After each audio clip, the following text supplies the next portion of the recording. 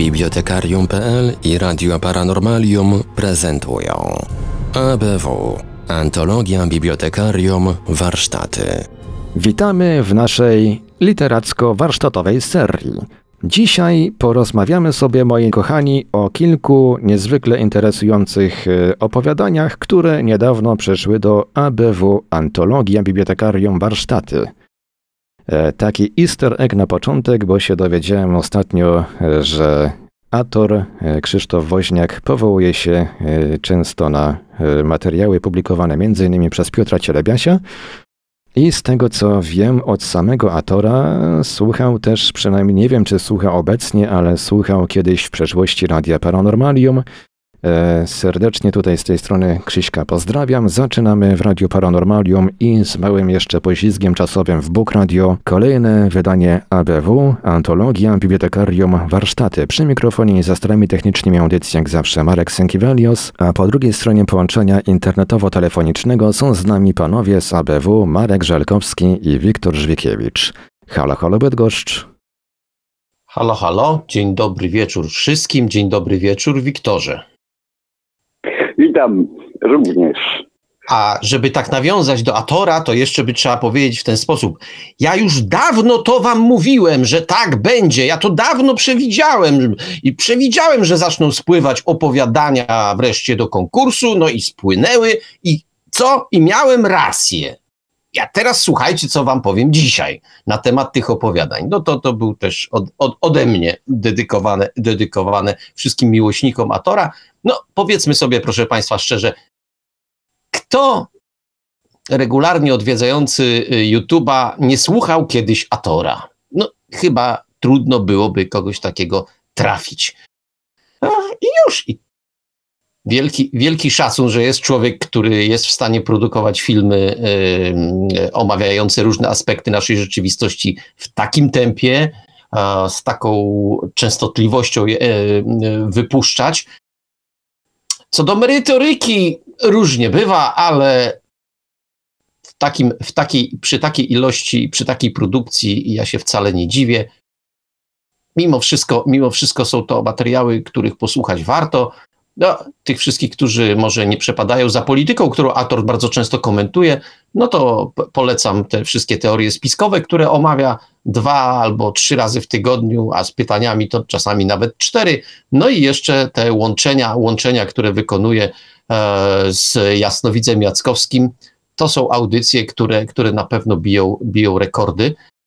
No, przy, dobrze, przy produkowaniu kilku takich odcinków dziennie, no nie, nie, raczej trudno uniknąć jakichś tam mniejszych lub większych wpadek, bo jednak Ator to, to powiedzmy wprost taśmowo to produkuje. No i mówi wszystko, większość rzeczy mówi nie tak jak ja z tekstu wyświetlonego na monitorze, tylko mówi do z głowy. Tak, i czasami gdzieś jak nagrywa o trzeciej w nocy, to mu to mu jednak tam, y, te, tam, nie wiem, te synapsy tam słabiej przewodzą, bo czasami się zawiesza, ale to też ma swój urok. Ja naprawdę daleki jestem od, od podśmiewania się, raczej, raczej y, z, wyraza, z wyrazami szacunku, że ktoś taki jest po prostu. I już, i tyle. Wiktor słucha troszeczkę y, dwóch marków, jakbyśmy opowiadali baśń o żelaznym wilku, no bo Wiktor y, kontakt z YouTube'em ma sporadyczny, a o kimś takim jak Ator nie słyszał. No, Wiktorze, tyle wzrusz... Słyszał, słyszał, słyszał od was, nie? A, tak. Od czasu ale... do czasu, a to jak komentujecie, yy, że tak powiem, jakość ten materiał, to to jest dla mnie bardzo fajną rzeczą, bo takie jest życie po prostu. Tak, tak. Życie jest, y, y, ma plusy, minusy, po prostu jest, jest po prostu żywe. Tak no jest. I, tego typu produkcja, tego typu y, rzeczy, takie życiowe, żywe, na bieżąco i tak dalej, to, to jest bardzo, bardzo fajna cecha, bardzo fajna, fajna umiejętność i fajnie, fajnie, że, że coś takiego funkcjonuje, a, a nie nie, że tak powiem, odgrzewanie rzeczy, które już mamy w głowie, y, te, które, do których jesteśmy przygotowani, tylko mówienie czegoś a. No tak, a poza tym, tym wszystkim, którzy, którzy wiedzą o co chodzi, no to proszę Państwa, no, audycja nasza, która ma tam takie wyświetlenia, no powiedzmy na poziomie mikro, no gdzież nam, nędznym internetowym, znaczy YouTube'owym robaczkom E, komentować, e, komentować. Znaczy komentować oczywiście możemy, ale gdzież to tam ma szansę w ogóle dotrzeć do Atora, który już dawno przekroczył pół miliona subskrybentów. To tak a propos, a propos tego, co się w internecie dzieje. E, proponuję, żebyśmy, żebyśmy jednak wrócili do ABW. Tu jest nasza działka, tu jest nasz kawałek podłogi i tu proponuję, żebyśmy się ja nie wiem, czy się na podłodze można okopać, ale w każdym razie, żebyśmy się tu zakotwiczyli, tu, teraz, dzisiaj. E, dla nas czwartek, dla Państwa piątek. Co ty na to, Wiktorze? No i jedziemy, jedziemy. Jedziemy, jedziemy. Tym bardziej, że w drugiej części krótko, bo krótko, ale chciałem z Państwem i z Tobą, Wiktorze, oczywiście porozmawiać o przecinkach, bo ostatnio miałem pewien e, dialog, który mnie nieco rozbawił ale z drugiej strony dał do myślenia. To nie jest tak, że, że powiedzmy, e, jeśli ktoś wygłasza jakiś komentarz, nawet jeśli on nam się wydaje dosyć zabawny, to on nie pozostawia śladu. Przynajmniej tak jest u mnie. I kilka refleksji mi się zebrało, ale to w drugiej części audycji. E, proszę Państwa, tak jak e, wspomniałem już, e, zaczęły spływać opowiadania. Zaczęły spływać opowiadania na konkurs śmiesznie się stało, bo tak jak wcześniej narzekałem, że, narzekałem, że mało opowiadań, tak teraz zaczęły spływać opowiadania na konkurs i one, e, ponieważ jakimś tam, jakąś tam mają szybką ścieżkę i, i, i, i obiecaliśmy to, że będziemy je komentować, no to one e, dosyć, dosyć zgrabnie e, odsuwają w czasie emisję opowiadań, które na konkurs nie przyszły, przyszły do audycji i, i, i czekają na swoją kolejkę. Chyba już wszystko powiedziałem, co miałem powiedzieć. To co, Wiktorze? Zaczynamy przegląd opowiadań zgłoszonych, zgłoszonych do, do, do, do, do konkursu. Pamiętacie Państwo, jakiś czas temu mm, słuchaliśmy na antenie opowiadania Jacka Fleischfressera, e, do którego tym kocie takim, który tam na, narozrabiał, e, trochę mieliśmy uwag. E, autor był, wysłuchał tych uwag, jak sam napisał w internecie. Mm, nie wie, czy nas do końca zrozumiał, ale zaowocowało to słuchanie napisaniem dwóch wersji, dwóch wersji opowiadania. Jedno opowiadanie jest, e, no, szorcik, to jest opowiadanie, nazwijmy go klasyczne, a drugie jest zgodnie z naszymi sugestiami wersją kulinarną to ja proponuję zacząć od wersji klasycznej, czyli Jacek Fleischfresser, Przełom. Jacek Fleischfresser, Przełom. W sali plenarnej Instytutu Zasobów Energetycznych zgromadził się tłum dygnitarzy i prezesów większych spółek państwowych. Na prezydialnym stole postawiono walizkę, z której wychodził przewód podłączony do żarówki i kilku wskaźników. Hieronim Kalinowski siedział z tyłu publiczności. Nie interesował się tym, że za chwilę profesor Ernest Schroeder pokaże wiekopomne odkrycie w dziedzinie energii kwantowej. Urzędnik miał inny problem na głowie. Jego konto świeciło pustką, a wieczorem obiecał oddać prezesowi Instytutu 10 tysięcy dolarów. Prezes dał mu je w zaufaniu do zainwestowania w intratny fundusz powierniczy. Mieli podwoić zyski w dwa miesiące, ale biznes wziął w łeb już po pierwszym tygodniu i pieniądze przepadły. A miało być tak pięknie. Szanowni Państwo, prezes Instytutu wszedł do sali razem z siwym, brodatym jegomościem. Przywitajcie profesora Schrodera. Dzięki niemu nastąpi przełom w energetyce. Nasza nadzieja na lepsze jutro powiedział do zebranych. Wszyscy wstali i przywitali ich oklaskami. Hieronim też bił brawo, chociaż jego departament nie miał nowych technologii w kompetencji. Od tak dyrektor wysłał go w zastępstwie. Profesor się ukłonił, chciał coś powiedzieć, ale stracił równowagę, bo pociągnął go prowadzony przez niego duży kot. Wywołało to u zebranych konsternację, ale nikt nie śmiał parsknąć śmiechem. Naukowiec nie przejął się tym, tylko wręczył smycz prezesowi. Ach, te koty. Przepraszam za niego, ale traktujcie go, jakby go tu nie było. Uśmiechnął się Schroeder. To właśnie dzięki Planckowi, bo tak się kocur nazywa, rok temu wpadłem na genialny pomysł z zastosowaniem dysharmonicznego kwantowego oscylatora. Odkryłem, że im dłużej sierściucha się pieści, tym ma większą energię. Ale profesorze, jak to ma się do naszego urządzenia? Przerwał mu prezes.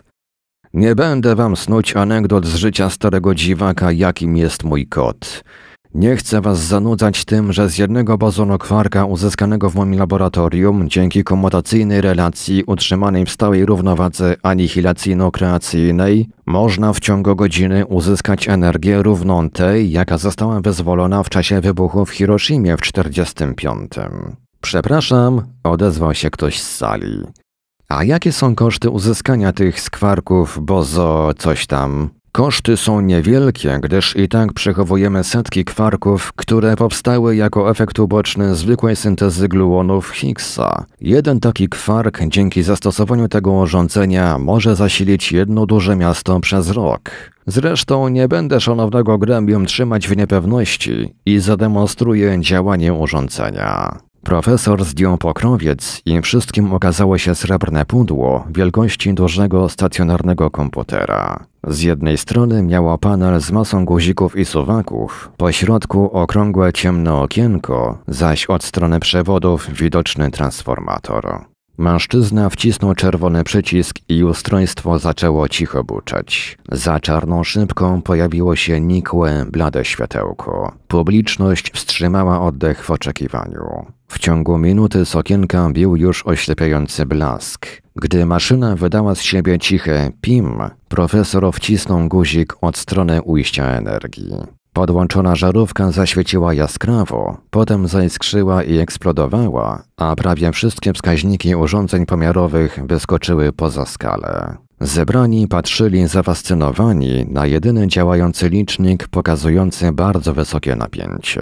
No, niestety nie mieliśmy odpowiednich. Zafascynowany prezes z uśmiechem przeliczył w głowie, ile na tym mógłby zarobić. Czy to bezpieczne? Czy nie wydziela się jakieś zabójcze promieniowanie? Zapytał się ten sam dyrektor co poprzednio. Nasze przełomowe urządzenie jest zupełnie niegroźne i po zużyciu bozona pozostaje jedynie uwięziony w kwantomatycznej pułapce neutralny leptonowy fermion.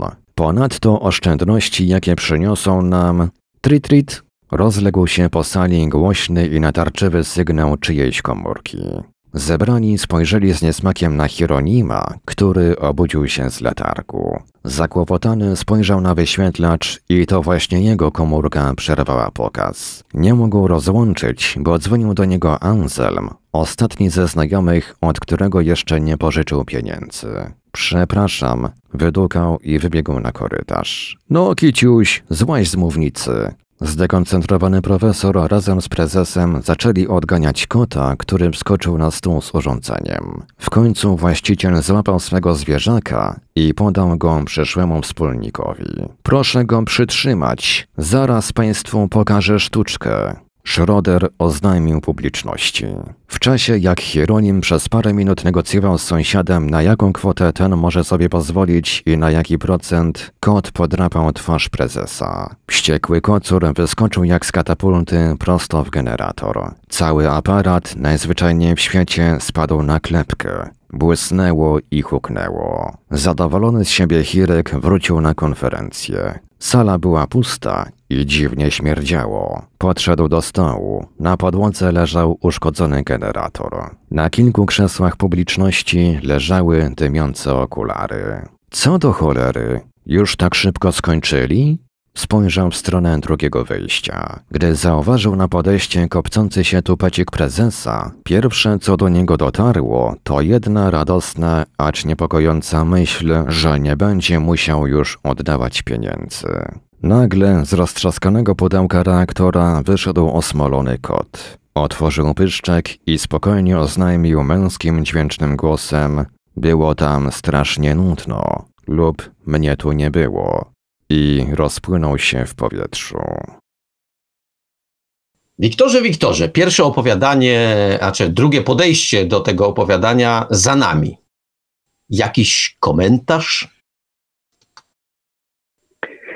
Mm, Holender, ciężko. W tej audycji, y, skoro przyszły takie opowiadania, trochę trzeba będzie, mm, będzie, będzie zwracać uwagę na, na, na język, bo y, to znaczy my będziemy musieli zwracać uwagę, bo, bo są to opowiadania, przy których aż się, mm, aż się prosi o komentarz stara, takie stare powiedzenie, gdzie drwa rąbią, tam dziury lecą. Po prostu, bo w tych wszystkich opowiadaniach jest całe mnóstwo takich niedociągnięć, takich rzeczy warsztatowych. Y, no, no, będzie na ten temat bardzo dużo. No i ja, ja, ja, ja tak. zgłaszam wotum separatum, jest przynajmniej jedno opowiadanie, w którym ja takich, takich rzeczy, o których mówisz, nie widzę. Albo widzę ich znacznie mniej, ale to później. Mów, mów, mów. mów. No, no dobrze, no. Ech, jejku. To, wiesz, ja przy tym opowiadaniu powiem jasno. Są opowiadania takie, przy których po prostu yy, yy, wiadomo, zostało napisane i nic dodać, nic ująć po prostu. Yy, są to rzeczy zwykle nie muszą być genialne, ale one y, nawet marne opowiadanie ma formę taką, że tak powiem, skończoną. Y, po prostu koniec, kropka, to się nada, albo podoba, albo nie podoba, nie? Natomiast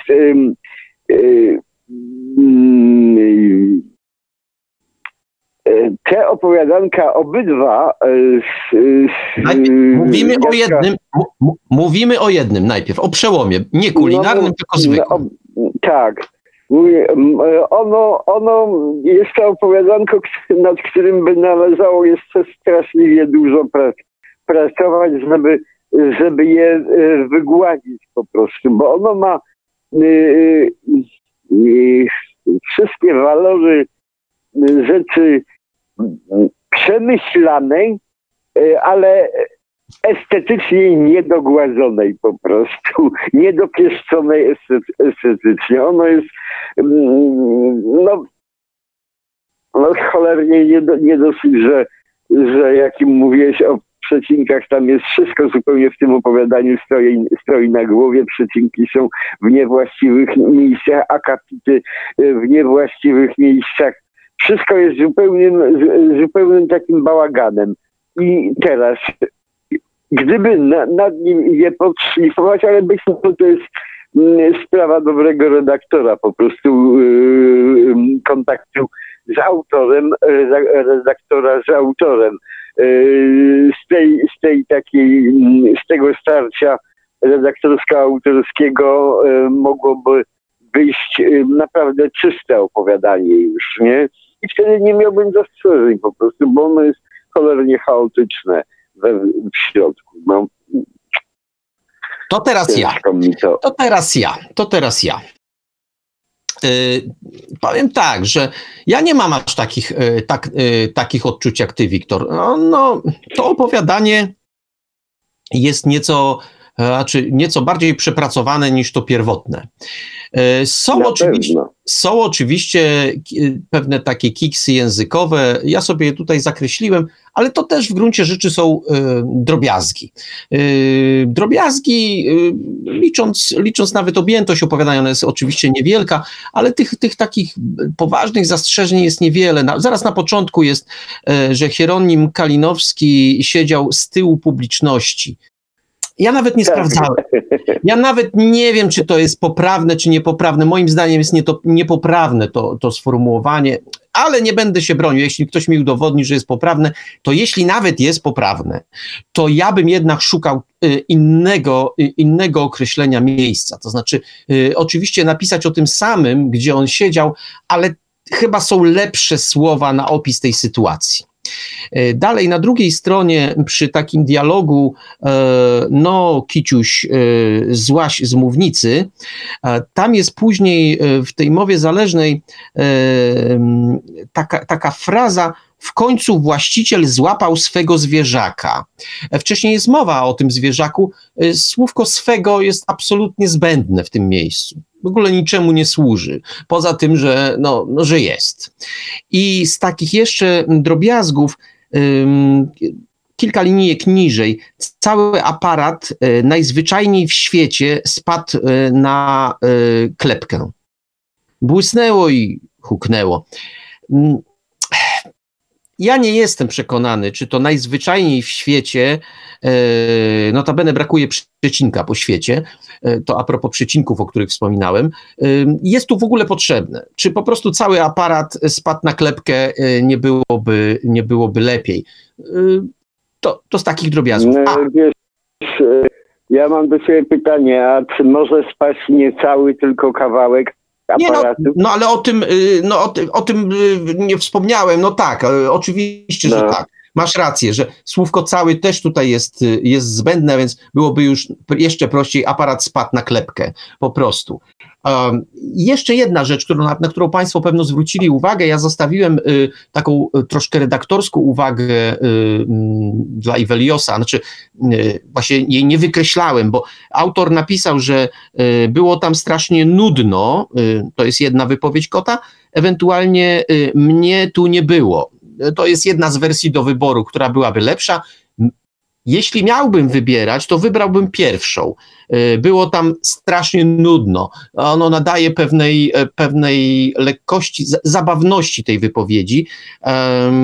Tu, mnie tu nie było, może być trudniejsze w złapaniu dla takiego szybko czytającego e, odbiorcy, może nie złapać pewnej absurdalności, natomiast, y, że tam było w tym aparacie strasznie nudno, no wyobraźcie sobie Państwo tego kota, który tam siedział. Myślę, że, myślę, że byłoby zabawniejsze. Y, I to tyle, to znaczy y, myślę, że więcej będę miał do powiedzenia, kiedy posłuchamy drugiej wersji, bo to warto, warto te opowiadania najpierw wysłuchać pary, żeby, żeby później jakąś decyzję podjąć, bo ja przypomnę, no jeśli chodzi o szorcik, no to możemy, to możemy, to możemy wybrać tylko jeden z nich i, i pewno w tej sprawie się z Wiktorem wypowiemy. Czy Wiktorze coś jeszcze na temat przełomu? No, może rzeczywiście przejdźmy do, do drugiego, bo też bez, bez tego drugiego to ciężko mówić o pierwszym. No właśnie. No to cóż, to proszę Państwa, zapraszamy w takim razie na opowiadanie Jacka Fleischfressera. Przełom, a tym razem przełom kulinarny. Jacek Fleischfresser, przełom kulinarny. W ekskluzywnej restauracji Obrzeża Realizmu dzisiaj miał być wielki cień. Właściciel knajpy, Hilary Kot, legendarny mistrz kulinarny, zdobywca siedmiu gwiazdek Michelina, zorganizował dla swych franczyzobiorców oraz przyjaciół pokaz nowatorskiego przyrządu do gastronomii molekularnej. Pomysłodawcą i twórcą kuchenki kwantowej był profesor fizyki jądrowej Ernest Schroeder, prywatnie wieloletni przyjaciel Kota oraz zapalony kucharz, amator i propagator wyszukanych smaków. Demonstracji miano dokonać w samo południe, a 20 zaproszonych gości nie mogło doczekać się przybycia gościa honorowego. Zebrali się dookoła dużego stołu, na którym umieszczono pudło przykryte różowym obrusem. W spotkaniu brał udział również jeden ze znajomych Hilarego, Wacław Wąs, aczkolwiek jego intencje były całkiem odmienne niż chęć poszerzenia horyzontów kulinarnych. Przyczyna obecności była prozaiczna i opiewała na pięć zer i dziewiątkę z przodu plus odsetki, a wszystko musiał oddać do wieczora właśnie szefowi kuchni. Uczestnicząc w tak uroczystym wydarzeniu, miał cichą nadzieję, że po spotkaniu, wykorzystując dobre samopoczucie wierzyciela, uda mu się wynegocjować odroczenie płatności. Siedział w kącie sali i z każdą minutą dochodził do wniosku, że nadzieja naprawdę jest matką głupich. Wreszcie doczekali się przybycia szefa szefów. Kot wpuścił do środka pomieszczenia profesora Schrodera, który niósł przed sobą duży wiklinowy kosz przykryty serwetą. Nie zdążyli nic powiedzieć, a już zebrali od zebranych oklaski. Na początku gospodarz przypomniał wszystkim, czym gość zasłużył się dla tej nowej dziedziny, jaką była kuchnia molekularna. Wymienił jego wkład w postaci stworzonych receptur i przepisów, będących teraz bazą menu dla ich marki. No dobrze, dobrze, dosyć tych uprzejmości. Przerwał mu profesor, stawiając z hukiem kosz na stole. Nie po to tu się spotkaliśmy. Jednym szarpnięciem zerwał szmatę z pudła niespodzianki. Zebranym okazało się ustrojstwo, na pierwszy rzut oczu będące połączeniem kuchenki mikrofalowej i starodawnego telewizora lampowego z dużą cewką elektromagnetyczną. Centralnie nad komorą zamykaną na przeszklone drzwiczki znajdowała się sporej wielkości szklana bańka z drucikami. Przez wiele lat stosując naukowe metody, Schroeder podkręcił wąsa i dostojnie wypiął brzuch, gdy złapał się za szalki swych spodni. Bazując tylko na naturalnych składnikach, stworzyliśmy wyjątkową mozaikę smaków zadowalającą każde wyrafinowane gusta. Wykorzystując oprócz standardowego wyposażenia kuchni takie urządzenia jak piece konwekcyjne, lasery oraz naszą wiedzę o zjawiskach fizykochemicznych, i precyzyjne zastosowanie dozowania osiągnęliśmy niebywałą jakość, rozpoznawalną w kraju i za granicą. Dzisiaj zaprezentuję Wam mój nowy wynalazek kuchenkę kwantową. Nie czekając na kolejne oklaski, podszedł do urządzenia i je włączył czerwonym przyciskiem. Wraz z cichym szemraniem wiatraka chłodzącego pulpit sterujący zaświecił się na niebiesko. Rozgrzewające się lampy elektronowe dodały trochę niesamowitości całemu przedsięwzięciu i stanowiły ciepły kontrast względem błyskającej na jasno-zielono dużej bańki. Teraz, dzięki temu dysharmonicznemu kwantowemu oscylatorowi, czeka nas poważny przełom w gastronomii.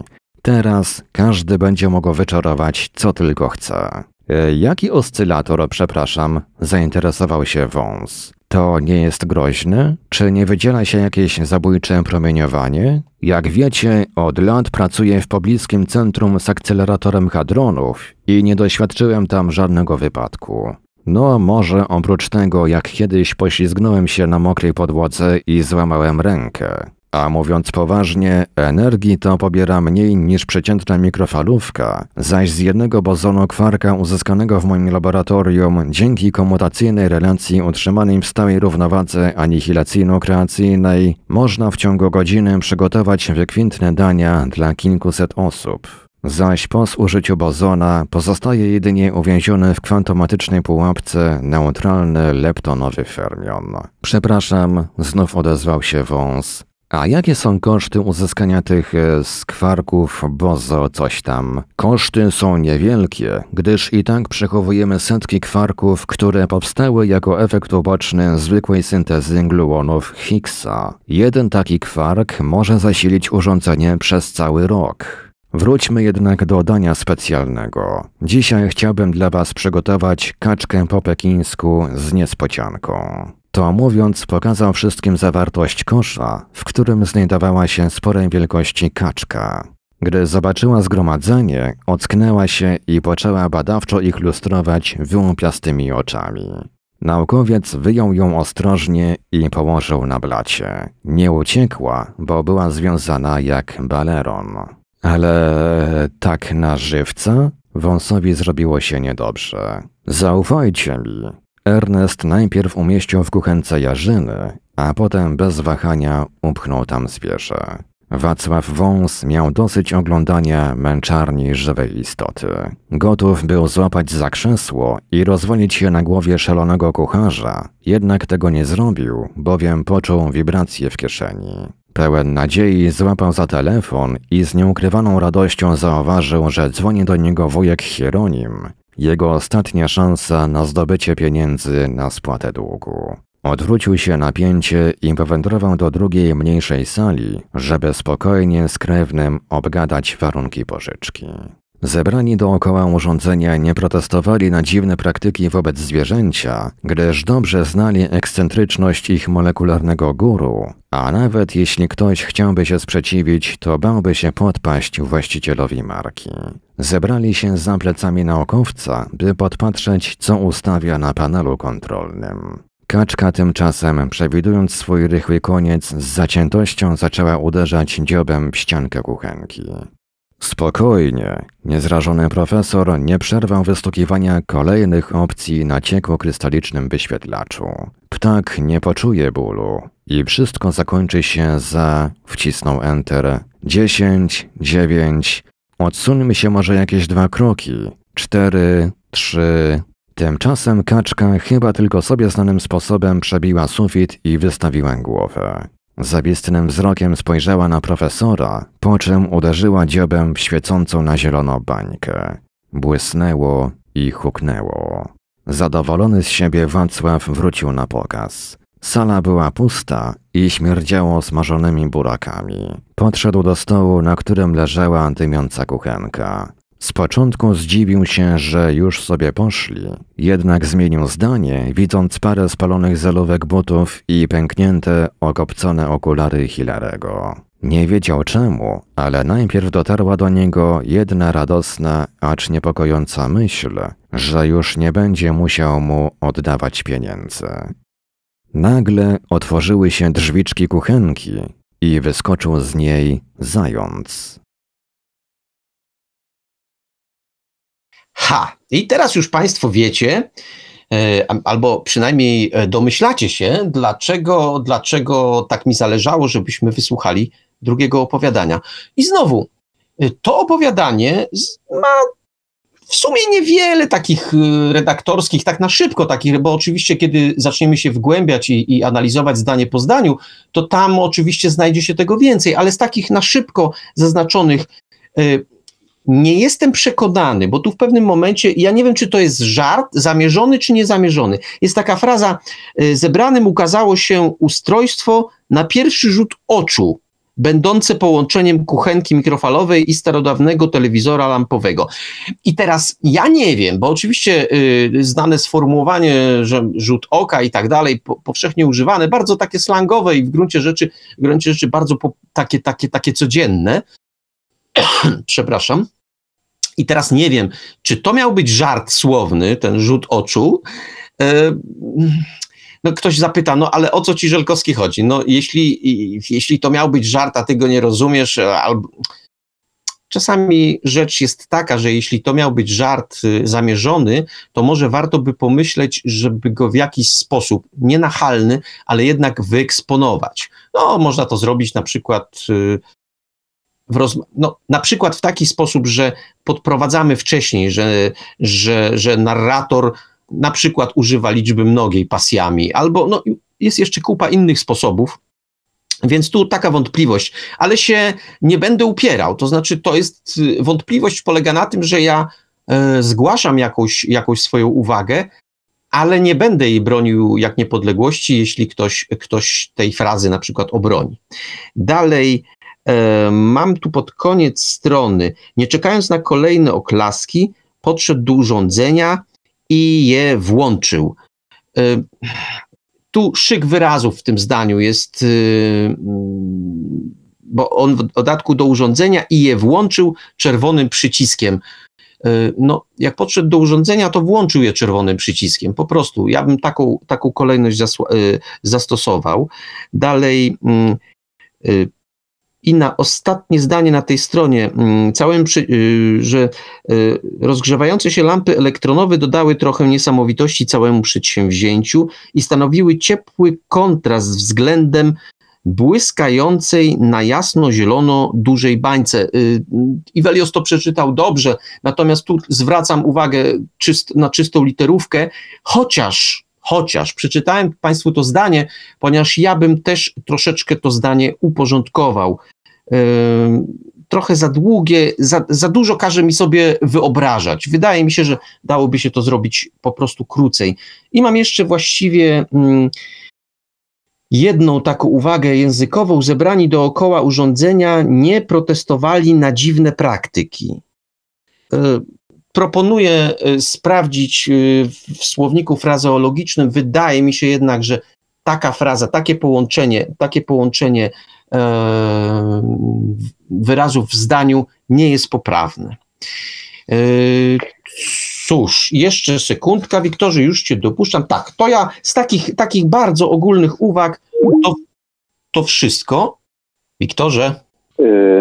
No cóż, ja, ja nie będę taki łagodny jak Marek, bo, bo jak wspomniałem o estetyce tych opowiadań, to ja cholernie sobie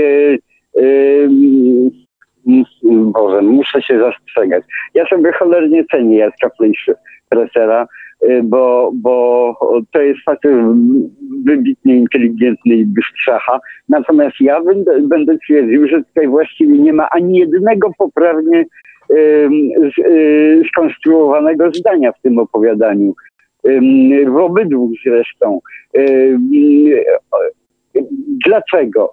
Dlatego, gdyż autor po prostu za dużo chce, że tak powiem, tych kwantów wcisnąć w każde zdanie. Od samego początku wydawałoby się, że, że, że, że nie ma nic złego. Jest.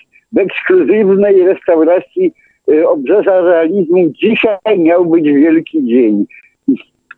Nie wiem, jak, jak, jak coś tego, ale kto, kto, kto by wpadł na dzisiaj miał być wielki dzień, to jest też jakieś dziwne sformułowanie, które już jest trudne do, do, do, do tego. Zamiast jasno i prosto napisać, że y, y, nie wiem, w tej knajpie właśnie był wielki dzień, a nie dzisiaj jeszcze dzisiaj jest wielki dzień nie wiem, wszystko jest nie tego. Dalej, dalej ten, y, w, w drugim zdaniu, właściciel y, knajpy y, Hilary Kot, legendarny mistrz kulinarny, już jest opisywanie, zdobywca siedmiu gwiazdek Michelina, już jest wyjaśniony kto, ale teraz dalej jedziemy. Zorganizował dla swych y, francuzobiorców Y, oraz przyjaciół jeszcze w dodatku, nie? Y, pokaz nowatorskiego przyrządu. To jest następna rzecz. Nowatorski przyrząd do gastronomii molekularnej. Tym zdanie jest napieprzone. To powinny być trzy zdania. Y, w jakiś sposób rozpisane. Przedstawiony facet, a potem co chciał i komu to do tego, to jest wszystko napakowane. W każdym zdaniu jest upakowane więcej informacji niż trzeba. no, no, zgoda, zgoda.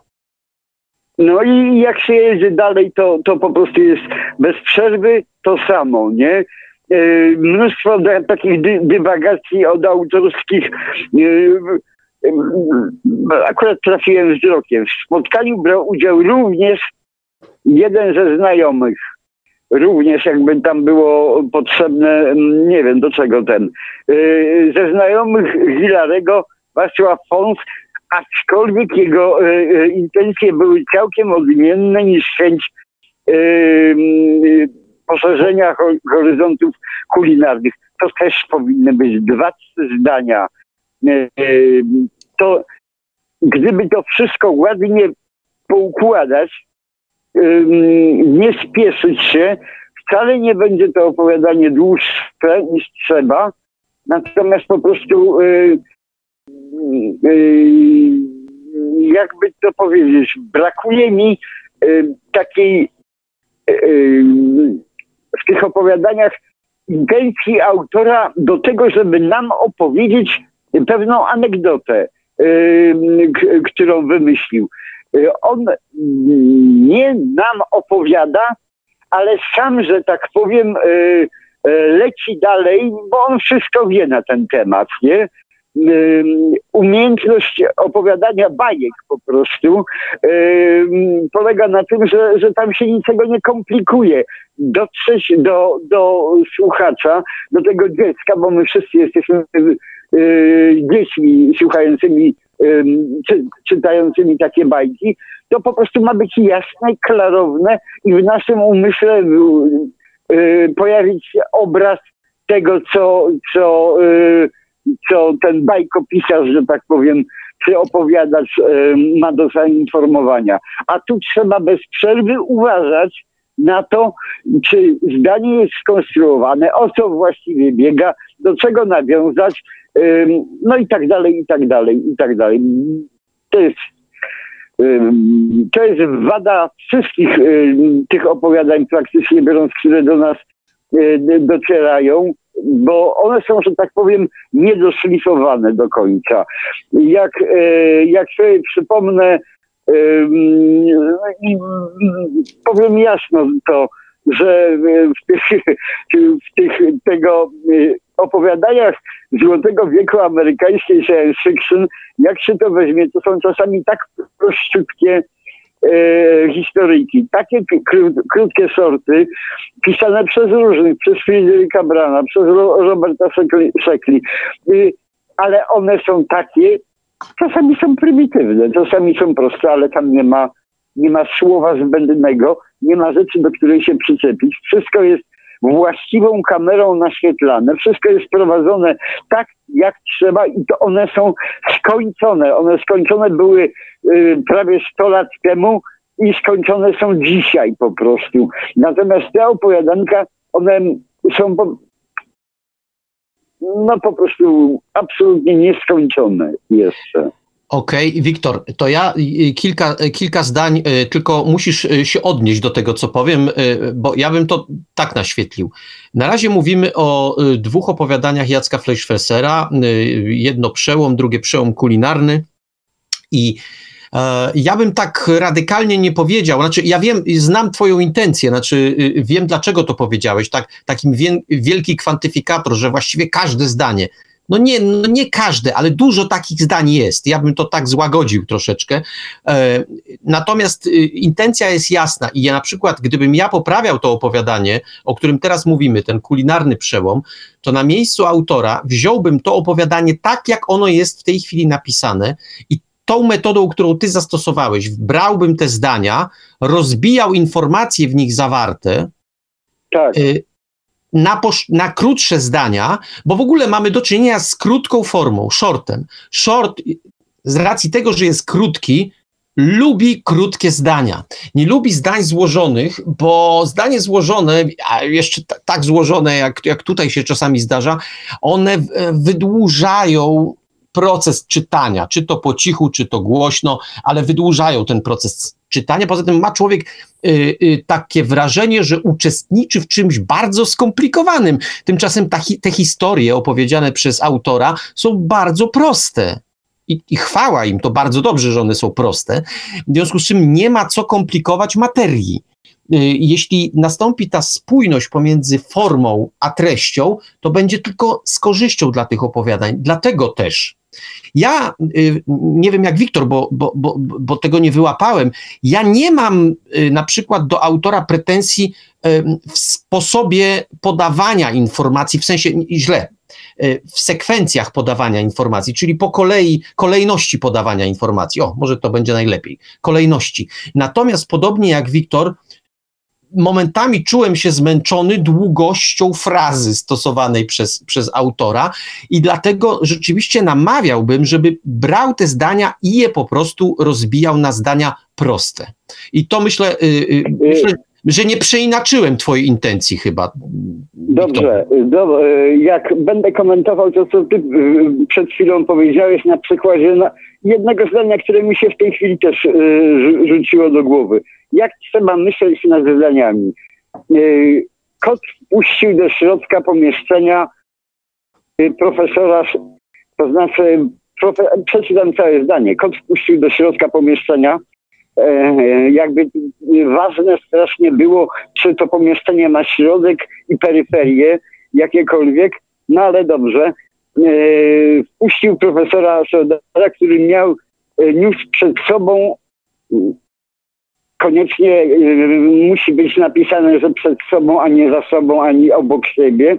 Więc niósł przed sobą duży wiklinowy kosz, jeszcze w dodatku przykryty serwetą, nie? Po pierwsze, y, wpuścił do środka, a, a co on stał tam na bramce i pilnował, kto wchodzi i kto, kto nie wchodzi. właściciel te, i, i, i ten tego. Co, co to za zdarzenie? On, albo ktoś wszedł, chyba że on pilnował wyjścia i, i wpuszczał tylko tego, kogo trzeba. Tego opowiadania wynika, że on był bramkarzem, który, który właściciel i, i, i tego jakaś absurdalna sytuacja zupełnie. Mm, dlaczego? Bo, dlatego, bo, bo autor w ogóle nie myśli, co się w danym momencie dzieje. Y, do pomieszczenia jakiegoś, nieważne czy do środka, czy na peryferię, wchodzi ten cały profesor z jakimś koszem przykrytym wykliną. A co ma ten kod do wpuszczania go? No dobrze. Y, y, I tak jak się, jak się y, przy każdym zdaniu jedzie,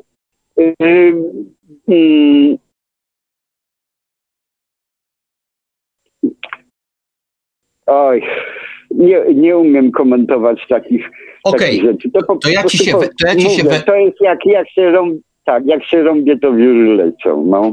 no to ja się wtrącę. Powiem tak, E, panie Jacku, ja proponuję naprawdę, być może pan już czytał albo zetknął się właśnie z prozą wymienionego wcześniej przez Wiktora Roberta Shekleya. E, Sheckley to był właśnie mistrz krótkie, no jeszcze Frederick Brown i William Ten. E, to takich trzech mistrzów złotego wieku science fiction, którym jeśli chodzi o tematykę i o sposób podawania info, jakby zabawy swoim czytelnikom, chyba jest blisko, czy, ale panu jest do nich blisko. W związku z tym proponuję się zapoznać i w sposób, w jaki oni pisali, naprawdę tym, tym tekstom trzeba, znaczy, no później przyjdzie redaktor i zacznie te teksty ociosywać, ale myślę, panie Jacku, że już jest czas, żeby samemu te teksty ociosywać, bo z redaktorem to różnie bywa. Redaktor raz sobie przytnie sam, raz sobie przytnie siam, yy, raz to tak, raz inaczej. Ja myślę, że mm, rolą autora tak naprawdę jest to, żeby mm, jak najwięcej w tekście wyciosać samemu. Redaktor się zawsze przyda, to nigdy nie zaszkodzi, a często pomaga. Natomiast ja zdecydowanie długo gadamy na ten temat, ale to jest może przestroga dla wszystkich piszących. Krótszymi zdaniami. Ja wiem, że od czasu do czasu trzeba dłuższe zdanie napisać. To nie jest tak, że my z Wiktorem będziemy tępić każdego, kto napisze zdanie dłuższe niż linijka. Nie, nie.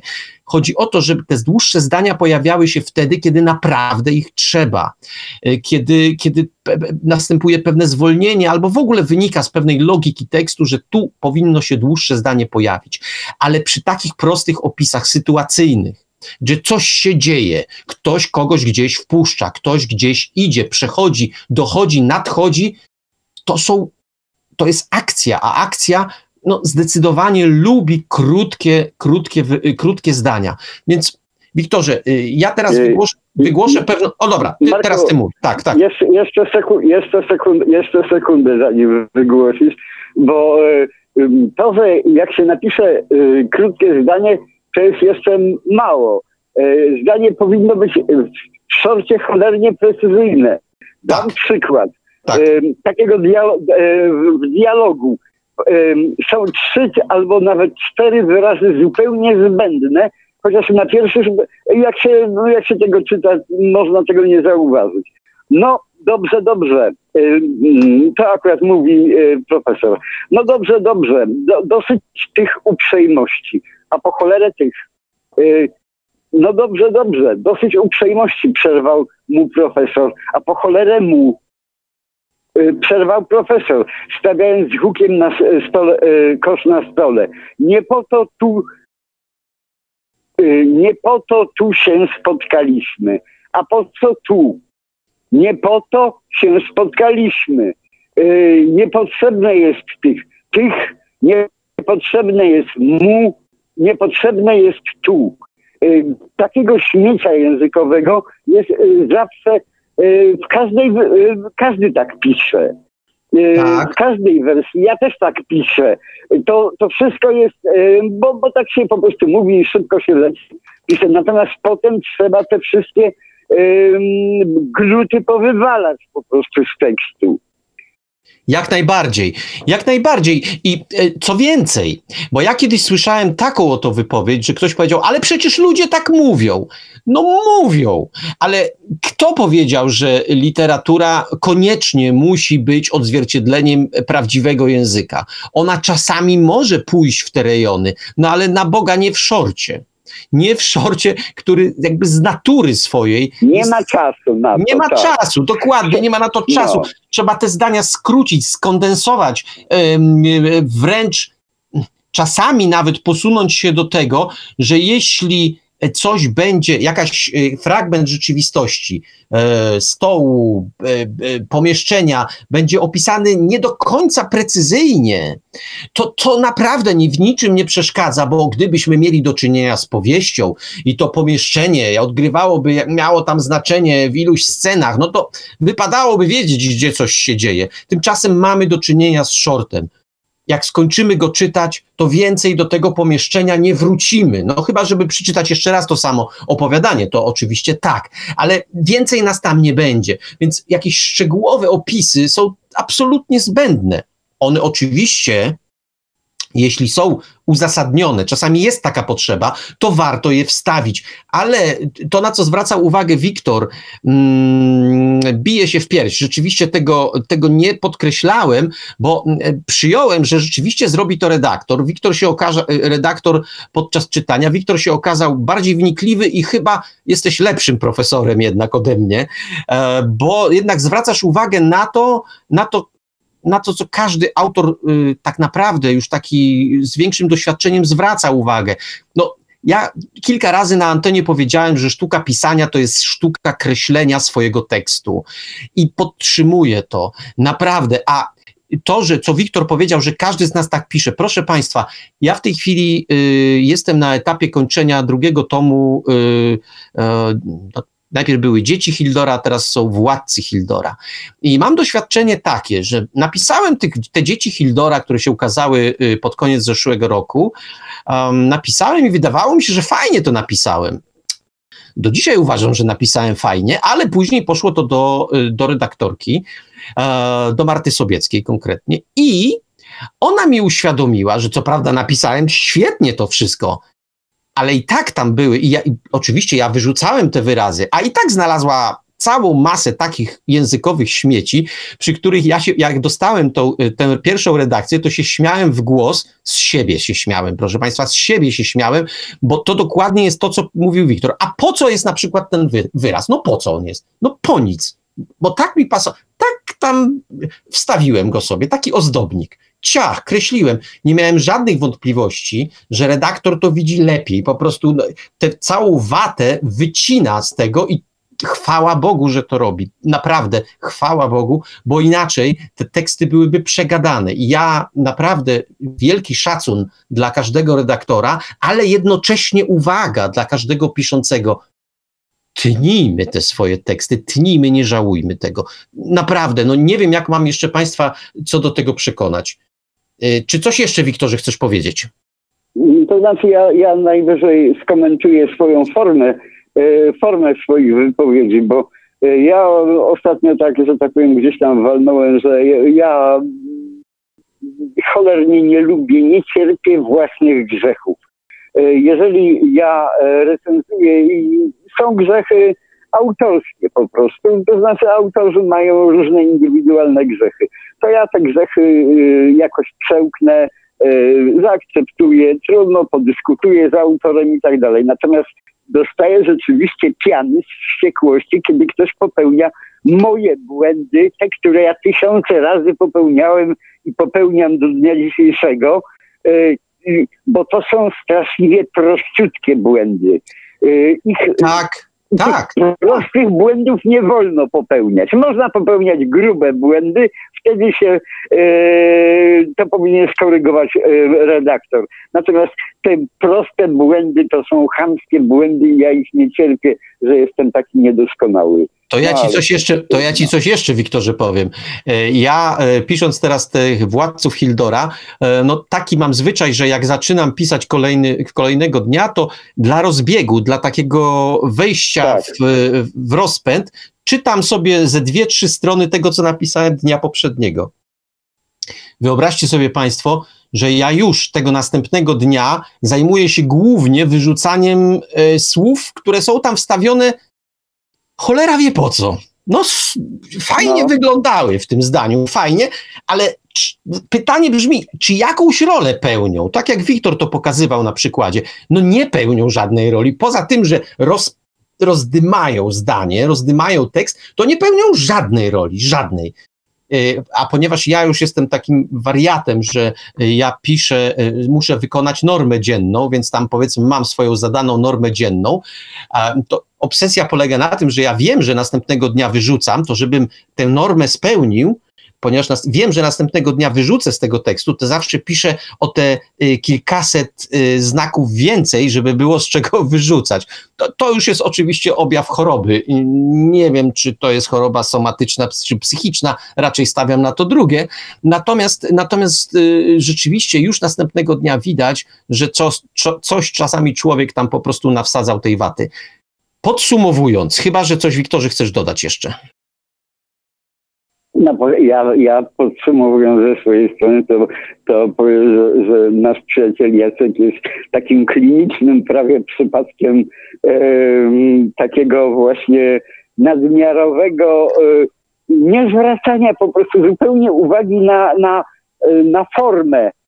E, a przy pisaniu literatura to jest jednak sztuka, a sztuka to jest dlatego, że jest sztuką, że jest po prostu ma pewne zasady estetyczne, pewne walory estetyczne muszą być spełnione, żeby coś, co jest zwykłym, normalnym tekstem, stawało się litera li li literaturą.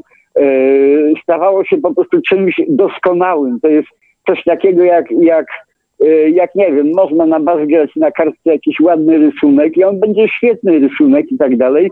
Natomiast jeżeli się już stworzy pewien, pewną, chce się Y, pewną skończoną rzecz, y, żeby to było gotowe. Gotowość to jest, to jest coś takiego jak ikona na przykład. Y, ja mówię o tej stałej, no, o, o tym arcydziele, nie ikonę we współczesnym wydaniu, tylko o tej ikonie malarskiej ruskiej to tam nie ma nic do, do, żadnego przecinka do dostawienia. To jest tego. Czasami to jest niezdarne, czasami to, to jest y, bardzo, bardziej piękne, ale po prostu to jest pewna skończona rzecz.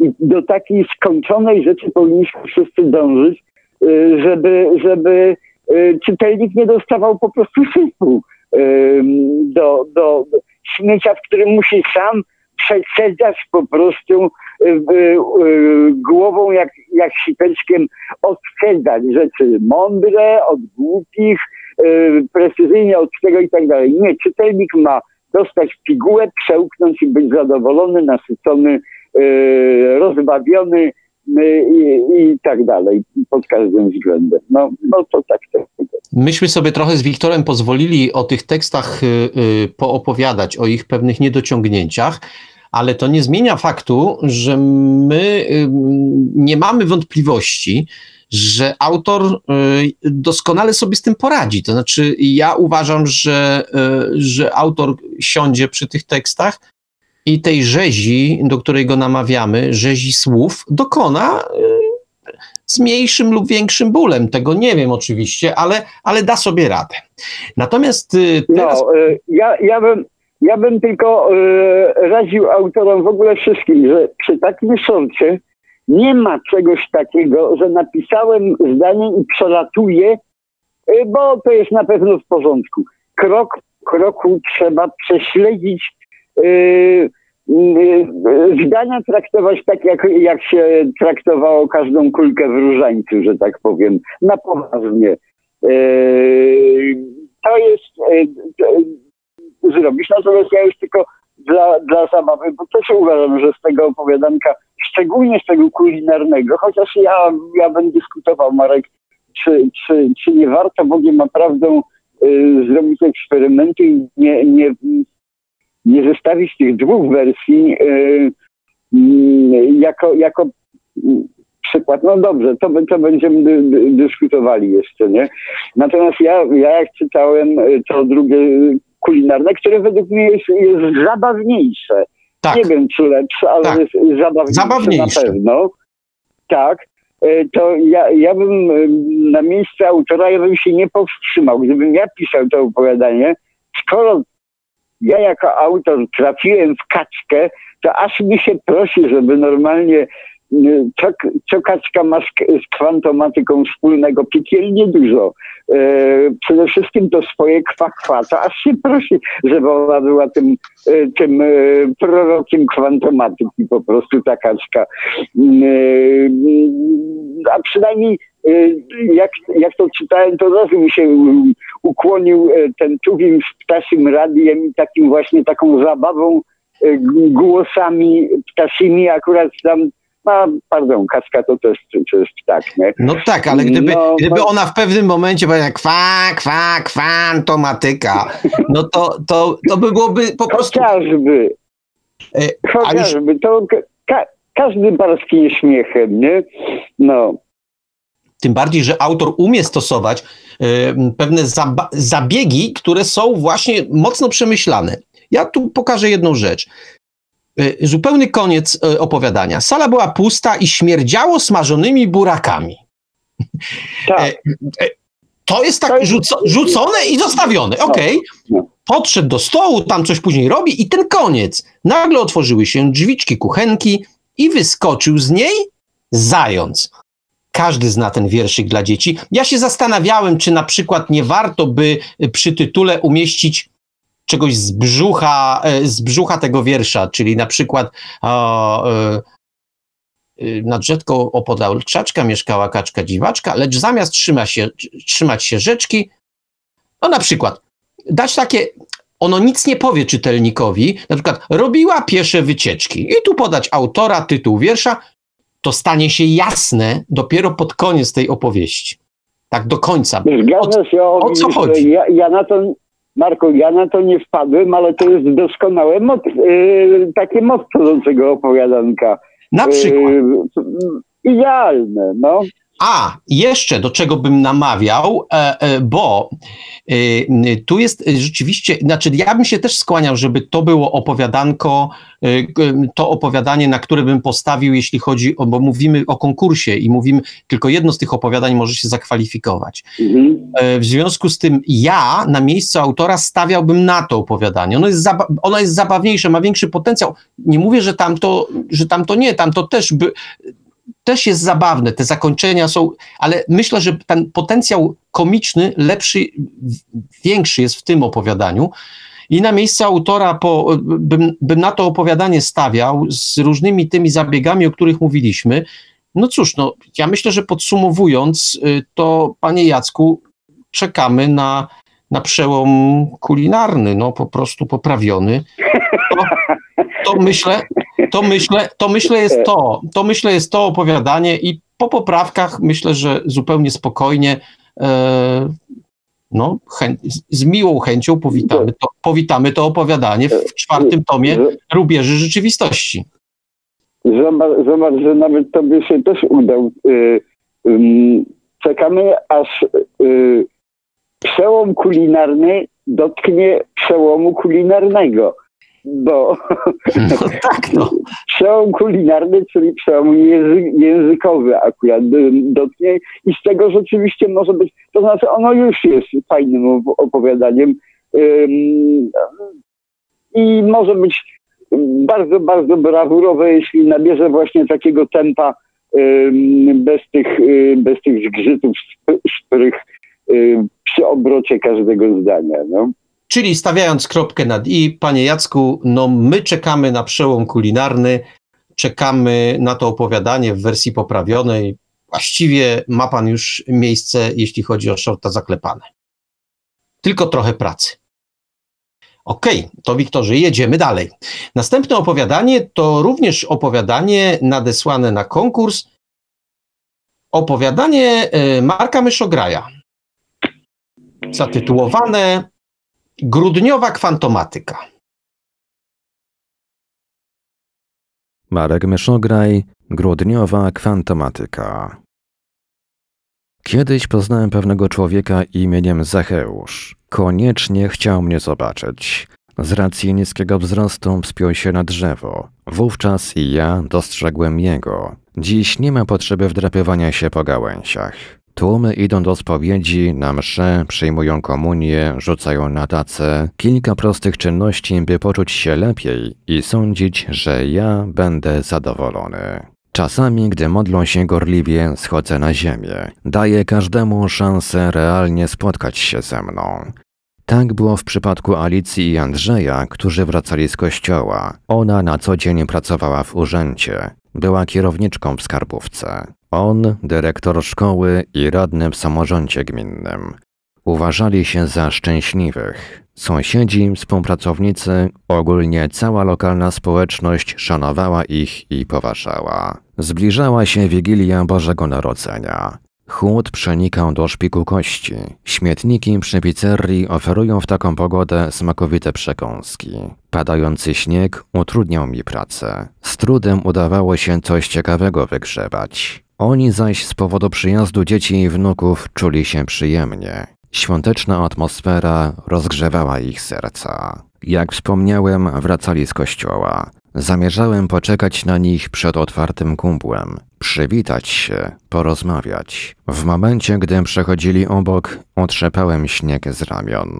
Mam ogromną ochotę na ciepły rosół, oznajmił Alicji Andrzej. Boże, patrz jaki menel, powiedziała kobieta wskazując na mnie. Nie zwracaj uwagi, kochanie, wracajmy do domu. Uspokoił ją mąż. Nic się nie zmieniło. Wystarczy cuchnąć i grzebać w śmieciach, by mnie nie rozpoznać. Pomyślałem. Opowiadanie króciutkie. Opowiadanie króciutkie, ale pozostaje w pamięci. No, mnie pozostanie, aczkolwiek pewno za chwilę mm, i Wiktor, i ja powiemy kilka, kilka, wypowiemy kilka uwag takich moim zdaniem bardzo ważnych odnośnie tego opowiadania, co nie zmienia faktu, że to opowiadanie, o ile wcześniejsze dwa mm, były opowiadaniami, które odwołują się raczej do komizmu, do, pewnego, do pewnej zabawnej sytuacji, do, do, do, nawet do absurdu chwilami, to to opowiadanie uderza w zupełnie inne nuty. Zupełnie inne. I bardzo dobrze. I bardzo dobrze. Co więcej, ono jest opowiadaniem, które, jak to powiedzieć, no, ono zostawia taki poważny ślad. Człowiek mówi sobie, kurczę, tak prosto jest to zrobione, ale kurczę, no Wiktorze, to ty, ty jesteś, ty jesteś mądrzejszy od, ta, od, od takich interpretacji, więc, więc tobie oddaję głos. No, jakby ważne było e, to, czy mi się to podoba, czy nie podoba, no to, to no jest to w pewnym sensie ważne, skoro siedzę przy tym całym mm, stole obrad i kwalifikuję razem z Markiem te teksty do, do rzeczy skończonych, to no, mi się bardzo podoba to opowiadanko, bardzo mi się podoba, chociaż też tak samo jak przy yy, opowiadaniach mam, mam zastrzeżenia, chociaż ono jest tak króciutkie, że właściwie wydawałoby się, że tam nie, nie ma tego. Jest, jest, jest, jest, jest, jest sporo rzeczy, które by można było wygładzić, yy, spra usprawnić, ale to wrażenie w całości yy, to ja uważam, że ono zostawia, zostawia. Zresztą ja bym, e, ja bym to mm, komentując to opowiadanie mm, e, taką tezę, taką tezą się posłużył, że właściwie jest to opowiadanie mm, opowiadanie biblijne. Wiecie dlaczego? Otóż był Stary Testament, był Nowy Testament A to my, co my mamy? Mamy współczesnego newsa. To jest news. O, o tym, w jaki sposób do, do, do, do, do, do tego tematu y, biblijnego odnosi się współczesność. Króciutko, jasno, zwięźle. I, i jaki, ma, jaki ma wymiar bo to jest wymiar współczesny po prostu. Ta przypowieść biblijna po prostu, która, którą Marek Mysograj zmajstrował po prostu. Myślę, że miał, miał, miał, miał dobry, dobry moment w życiu, kiedy wymyślał, wpadł na, na ten taki bon mot e, właściwie e, biblijny, z tego, z tego, z tego jak się podszlifuje leciutko, to, to, to może być yy, yy, pyszne opowiadanie. Ono już jest pyszne według mnie. Tak, ma kilka drobiazgów takich językowych, y, które y, jed, jeden z tych drobiazgów zamaskował Ivelios, bo przeczytał, tu jest coś takiego, pogodę, y, oferują na, w taką pogodę smakowite, w oryginale są kąski, Ivelios przeczytał przekąski i moim zdaniem zdecydowanie lepiej to brzmi, te przekąski niż kąski. No, no chociażby. No. Tak, i tu, i, i tu wielkie dzięki za czujność Iveliosowi, ale... No, to chyba kwestia przypadku, bo ja troszeczkę zmęczony byłem, jak to nagrywałem, także te przekąski tam, to prze, to tak przez przypadek się chyba No to chwała, przypa chwa chwała przypadkowi, bo to zdecydowanie lepiej brzmi, lepiej brzmi. Natomiast y, jest jeszcze taka jedna fraza, która mnie, y, którą, którą warto, o której warto powiedzieć. Mam ogromną ochotę na ciepły rosół, oznajmił Alicji Andrzej. Otóż to się może komuś podobać albo nie, ale w takiej mowie y, y, powinno być dokładnie odwrotnie. Oznajmił Andrzej Alicji, ponieważ zasady pisania dialogu Oczywiście, jak ktoś pisze prozę poetycką, to wszystko sobie może zrobić i, i może prozę, w prozie eksperymentalnej, ale zasady, na razie mówimy o zwykłej prozie. Więc w, w zwykłej prozie jest zasada taka, że jak ktoś powiedział, to określamy, kto powiedział od razu. Powiedział Andrzej, odpowiedział Andrzej, rzekł yy, i tak dalej, i tak dalej podajemy autora wypowiedzi, a później możemy dołączyć ewentualną osobę mm. drugą. Więc to zdecydowanie oznajmił nie Alicji Andrzej, tylko Andrzej Alicji. I to jest czysto techniczne, to, to znaczy to nie ma co nawet dyskutować o tym. No. A poza tym, e, poza tym, jeżeli ja się będę przepiał, ale jeżeli się e, bawimy tekstem e, i analizą takich tekstów, to mm, takie oznajmienie, że ktoś woli ciepły rosół. Ciepły rosół jest do, do dupy, za przeproszeniem, bo rosół powinien być gorący, żeby był smaczny, tak naprawdę. Ciepły to jest nijaki po prostu. No ale, ale lepszy ciepły niż zimny, to fakt, nie? Natomiast no, bo, bo ten, tłu, no bo ten tłuszcz, bo w zimnym rosole to ten tłuszcz tak chrzęści między zębami, jest nieprzyjemnie, no. No taka, no tak, ale ciepły to też jest taki, taki, taki sobie, nie? No ale tłuszcz... powinien być gorący. To prawda, to prawda. Nie, no to słuszna uwaga. Warto takie, na takie drobiazgi zwracać uwagę. Ale tak jak powiedział Wiktor, to opowiadanie jest pyszne, e, inaczej. Ono jest smaczne, ale mogłoby być pyszne tylko kilka drobiazgów. Mm -hmm. Jakież to drobiazgi? Po pierwsze, zadam Państwu pytanie, wszystkim, którzy słuchali tego opowiadania. Jak się ma tytuł do tego opowiadania? Czyli grudniowa kwantomatyka. Ja już wiem, jak się ma ten tytuł, ale przyznam się Państwu, nie wymyśliłem tego sam. E, musiałem sobie z Wiktorem chwilę podyskutować i wtedy wpadłem. Jakie jest powiązanie? Państwo sobie w duchu odpowiedzcie, jak się ma tytuł Grudniowa Kwantomatyka do tego, co się dzieje w opowiadanku. No, mam nadzieję, że Państwo wpadliście na to, ale to nie jest w gruncie rzeczy przy takim tekście nie jest takie łatwe. Wymaga pewnej giętkości, pewnego, no, człowiek nie może być zmęczony i musi być ogólnie taki wysportowany umysłowo bo przecież e, czym się zajmuje e, fizyka kwantowa, w ogóle kwanty i tak dalej, te przemiany, które następują. No, już zdradziłem wszystko, ja to zawsze wszystko wypaplę od razu w pierwszym zdaniu. No właśnie, tu też następuje jakaś przemiana, coś się zmienia, coś się przekształca, coś.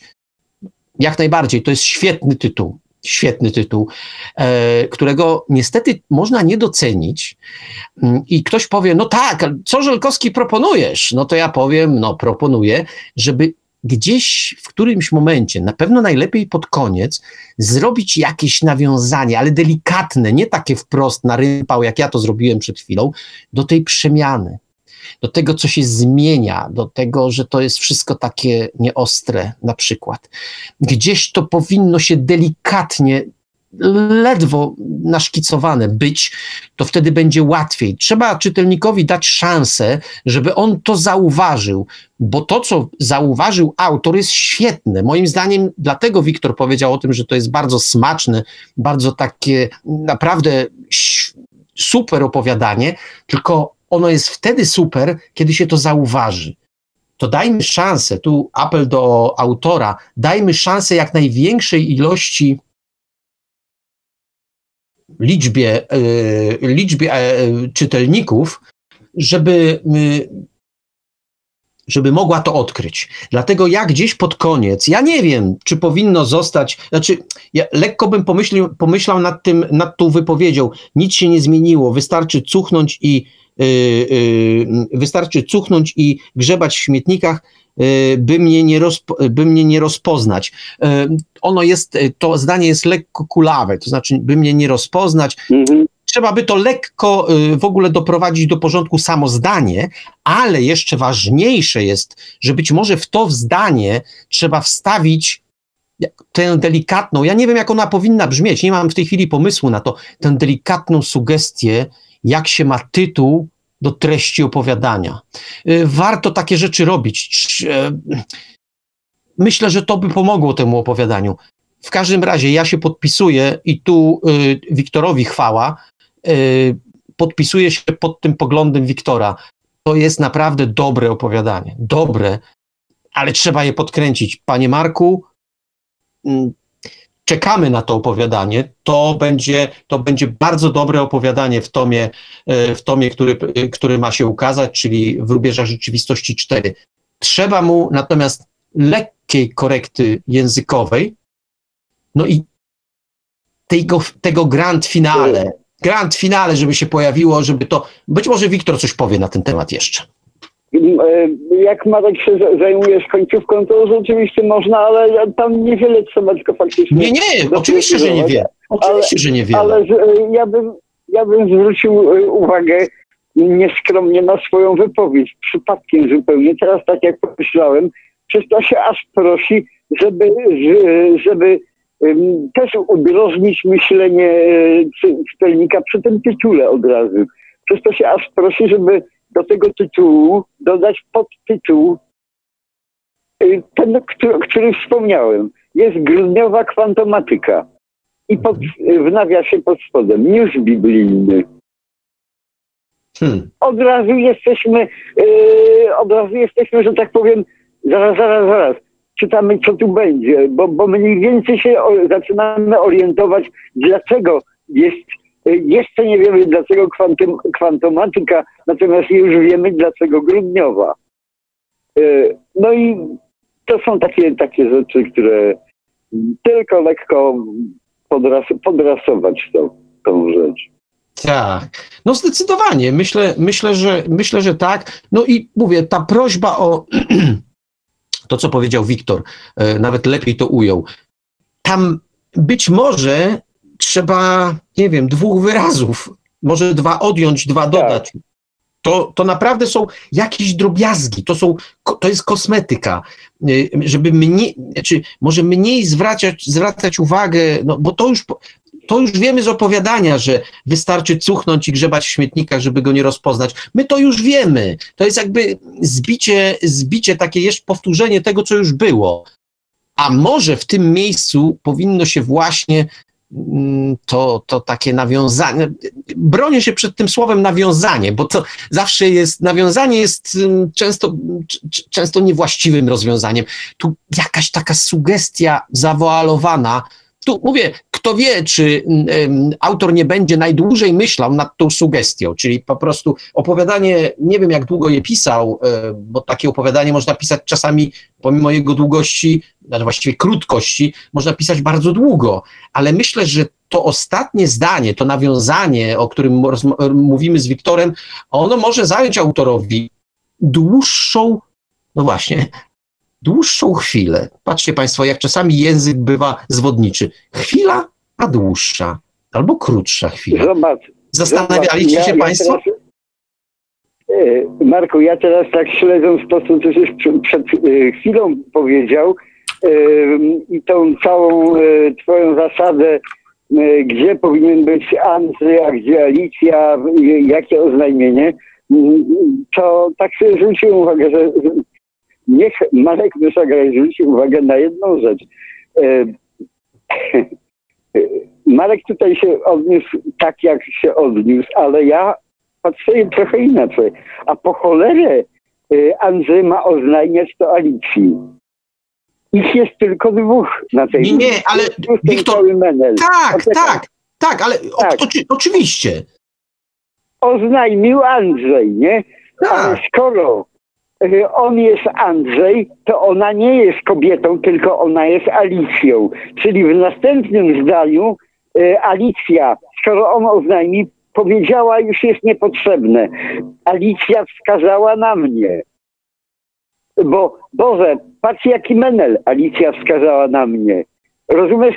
Niepotrzebne jest powiedziała, wystarczyło, że on tam przedtem oznajmił. Mamy ich już, że tak powiem, yy, zaprzyjaźnionych jesteśmy z nimi, z tą parą. On jest Andrzej, ona jest Alicja, a nie kobieta. Yy, no i mamy taką parkę, która skomentowała całe zdarzenie i tak dalej, bo, bo sobie wyszła. No. To jest, to pod względem takim yy, opowiadania jak najbardziej masz rację. Ja bardziej zwróciłem uwagę tak. na techniczny walor taki pisania, że jak powinny być uporządkowane w tej mowie, w tej mowie dopełniającej hmm. dialog, jak powinny być uporządkowane, uporządkowane wyrazy. I stąd się to wzię, wzięła się moja uwaga. Ale jeśli chodzi o, o rozwiązanie fabularne, fabularne, nie fabularne, rozwiązanie takie czysto techniczne, to ty masz rację. Jak najbardziej tak, bardziej tak to powinno wyglądać niż, niż to, o czym, o czym ja mówiłem. Jak najbardziej, to, to z całą pewnością.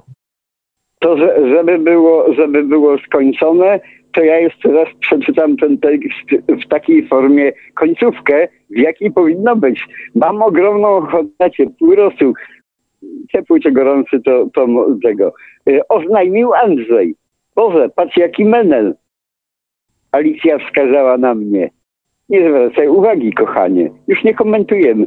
Yy, wracajmy do domu. Uspokoił ją mąż. Nie trzeba. Aha, no tak, oni Nawet nie... myli małżeństwo. Tak, tak, wszystko ale jest w porządku. Dobrze. Ale to nie musi być. Ten mhm. uspokoił ją mąż nie, musi, nie być. Nie zwracaj na niego uwagi, nie zwracaj uwagi, kochanie wracamy do domu. Yy, wiadomo, właśnie, kto, o, o, tak, o, wiadomo tak. kto to bez, mówi. Bez tego, że już ją uspokoił. Tak, zgadza się. No i w ten sposób jedziemy krok do przodu. No i, ta, no i, ta, koń, i ta, ta końcóweczka, którą należy tak. przemyśleć, ale to już jest tak naprawdę drobiazg. Mhm.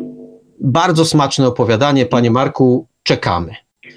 Czyli tak naprawdę, Wiktorze, mamy podsumowane dwa opowiadania. Co prawda, jeszcze to nie są gotowce, ale czekamy na dwa, moim zdaniem. Prawie, e, prawie. No. Prawie, prawie opowiadania tak. gotowce. Proszę Państwa, tak się zdarzyło ostatnimi czasy, że my w naszej audycji opowiadań mamy niewiele, bo je staramy się dosyć dokładnie omawiać. No dzisiaj będzie jednak trochę inaczej, bo jeszcze przed państwem, y, za państwem trzy opowiadania, a przed państwem trzy opowiadania.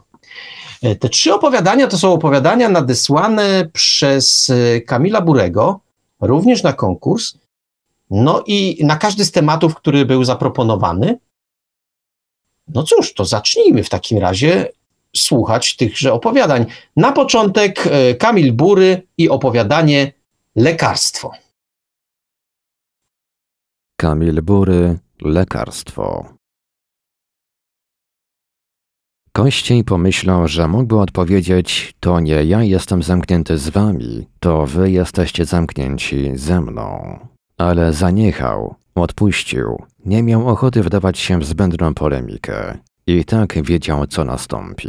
Najpierw oni zabiją jego, to prawdopodobnie będzie strzał w głowę, a wtedy on wstanie i zabije ich. Tak było zawsze, pośród krwi i krzyków. Nie pomylił się. To był strzał z pistoletu. Jeden z goryli stojących za nim po prostu wyciągnął broń, wycelował i strzelił. Na chwilę stracił życie, lecz nie na długo. Miał rację również co do dalszej części. Gdy padł bez życia na ziemię, najemnicy rozluźnili się. Ktoś kazał podwodnemu iść po mopa, aby posprzątać bałagan. Ten ktoś nie zdążył. Nieśmiertelny tym razem ożył wyjątkowo szybko. Ludzi jak zwykle ogarnęła panika. Zaczęli krzyczeć, strzelać bez celowania i biegać jak drób bez głowy. Kościej metodycznie ich zabijał, pojedynczymi, oszczędnymi ciosami. Wiedział, jak skutecznie i szybko uśmiercać. Robił to od stuleci. Na przestrzeni lat widział wiele wojen. Mógłby je opisać na wiele sposobów, mniej lub bardziej krwawych, jednak wszystkie koniec końców sprowadzały się do śmierci. Zazwyczaj była to śmierć bezsensowna i w imię idei, która niedługo po walkach zostawała zapominana na zawsze. Bohaterskie czyny przodków nigdy nie ratowały potomków przed powtórzeniem błędów i wywołaniem kolejnych konfliktów. Miał rację ten, kto powiedział, że wojna nigdy się nie zmienia, zmienia się tylko broń. Nadal był stary, może nawet staroświecki, na pewno tak wiekowy, że z żyjących tylko on pamiętał swoje dawne imię. Między innymi dlatego wciąż walczył mieczem. Zdarzało mu się używać broni palnej, ale gdy przychodziło do krwawej jatki w ciasnych pomieszczeniach, ostrze sprawdzało się lepiej. Ich szef uciekł do pani Krumu. Nadar wytarł klingę miecza w białą koszulę jednego z mięśniaków. Schował broń do pochwy ukrytej wewnątrz tuby na rysunki. Bez pośpiechu podszedł do wzmacnianych drzwi. Poszukał wzrokiem kamery, patrząc jej w oko, zapukał i odezwał się, nie podnosząc głosu. Wpuść mnie. Wiesz, że mogę czekać naprawdę długo. Mógł powiedzieć jak długo, mógł uświadamiać mężczyznę po drugiej stronie, że wzywanie jakichkolwiek posiłków bądź pomocy będzie bezcelowe. Jednak był przekonany, że on o tym wie i dlatego nie odzywał się więcej. Po dwóch bezdźwięcznych minutach zabzyczał elektroniczny zamek, siłowniki odpuściły z metalicznym brzękiem. Kościej pociągnął drzwi. Wszedł do środka. Był tam gabinet. Bez okien, bez zbędnych ozdób, poza sporym globusem, w którym zapewne krył się barek. Była tu kanapa i lodówka, lecz ukryte za regałami z książkami, tak aby nie dało się ich zobaczyć przychodząc w interesach.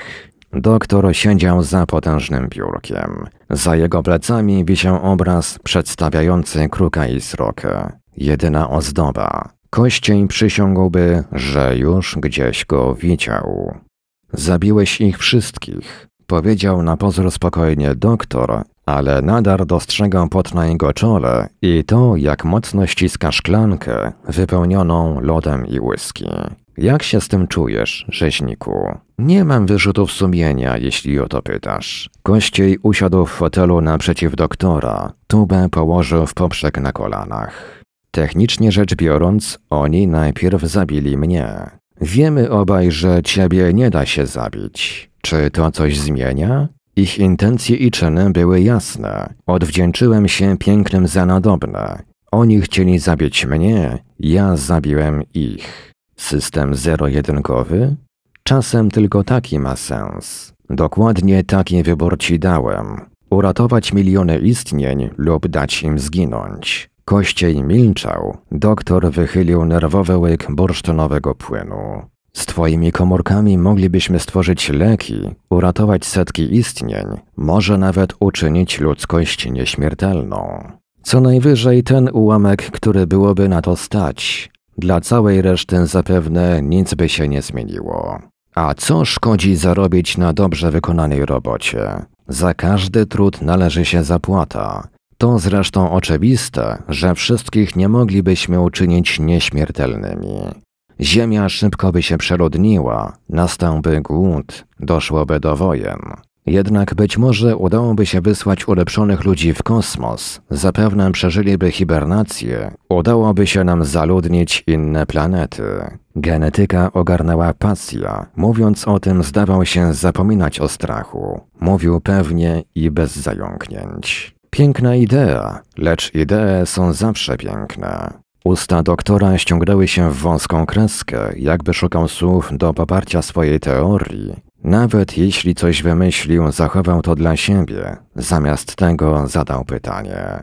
Więc co, teraz mnie zabijesz? Zauważ, że nie polepszy to świata, a może mu tylko zaszkodzić. Ja wciąż nawet bez ciebie mogę opracować wiele lekarstw. Uważasz, że jeśli jakiś jaskiniowiec nie wymyśliłby kiedyś koła, nie mielibyśmy go do dzisiaj? Na przestrzeni wieków nie ma znaczenia, czy istniejesz, czy nie. I tu się mylisz. Z wynalazków Leonardo da Vinci czerpie się po dziś dzień. Nikt nie rozbudował niektórych teorii Einsteina, a nie jest to coś, co ogarnąłby umysłem każdy. Są jednostki specjalne, które pozostawiają po sobie dziedzictwo dla całego świata. Są nieliczne, ale istnieją. A ty właśnie próbujesz mnie przekonać, że jesteś wyjątkowy. Ktoś musi być, a wiara w siebie to połowa sukcesu. To z jakiejś książki o samorealizacji? Jeśli mnie pytasz, nie wierzę w takie gówno. Wszystkie te książki powtarzają to, co wie każdy człowiek, tylko w zawiły sposób i pięknymi słowy, a są pisane tylko po to, by oddających się na to nabrać idiotów wyłudzić kasę. Co wie każdy człowiek? To proste. Aby cokolwiek osiągnąć, trzeba spiąć dupę i wziąć się do roboty. Nie ma innej drogi. To fakt, ale czy wie to każdy, ciężko powiedzieć. W każdym razie to nie zmienia tego, co powiedziałem o jednostkach. Nie zmienia. Zmieniłem temat, bo miałem dość twojego samouwielbienia. To jak? Zabijesz mnie? Nadar nie odpowiedział od razu. Myślał o wojnie, przelanej krwi i o tym, czy to się kiedyś skończy. Szczerze w to wątpił. Nieważne, czy ludzie będą żyli w dostatku czy w biecie, zawsze znajdą coś, o co zechcą walczyć. I nie zawsze będzie to słuszna walka. Westchnął ciężko. Kiedyś widziałem taki film. Był tam młody muzyk, który podpadł mafii. Na koniec usłyszał od gangstera, że tym razem mu daruje, lecz jeśli w ciągu czterech lat nie osiągnie sukcesu, to wróci i go zabije. Ja daję ci pięć. Doktor znów upił kolejny łyk whisky. Minęła dłuższa chwila, nim odpowiedział. Głos drżał mu nieco. Założę się, że staje ci już tylko przy takiej zabawie w Boga. Odważne słowa, jak na kogoś, nadar zawiesił głos, posłał groźne spojrzenie jaskrawo niebieskich oczu wprost na doktora, na granicy życia i śmierci. Pieprz się, kościej, ty i te twoje przeklęte, nienaturalne ślepia. Całe swoje życie narzekasz na swój los, ale sprawia ci to kurewską przyjemność, ta bezkarność i wieczny byt. Ta, zwłaszcza gdy dziurawią mnie kulami albo kroją na kawałki. Nieśmiertelny zachowam spokój, w przeciwieństwie do zdenerwowanego genetyka. Rozciął cię ktoś kiedyś na pół? Nie ma takich dwóch? Pytam z zawodowej ciekawości.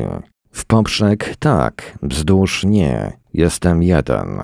To dobrze. Jeszcze chwilę temu chciałeś uczynić połowę ludzkości takimi jak ja. Wciąż chcę. Do zobaczenia za pięć lat. Kościej wstał. Nie miał zamiaru dłużej dyskutować z lekarzem. Lepiej, żebyś dostał Nobla.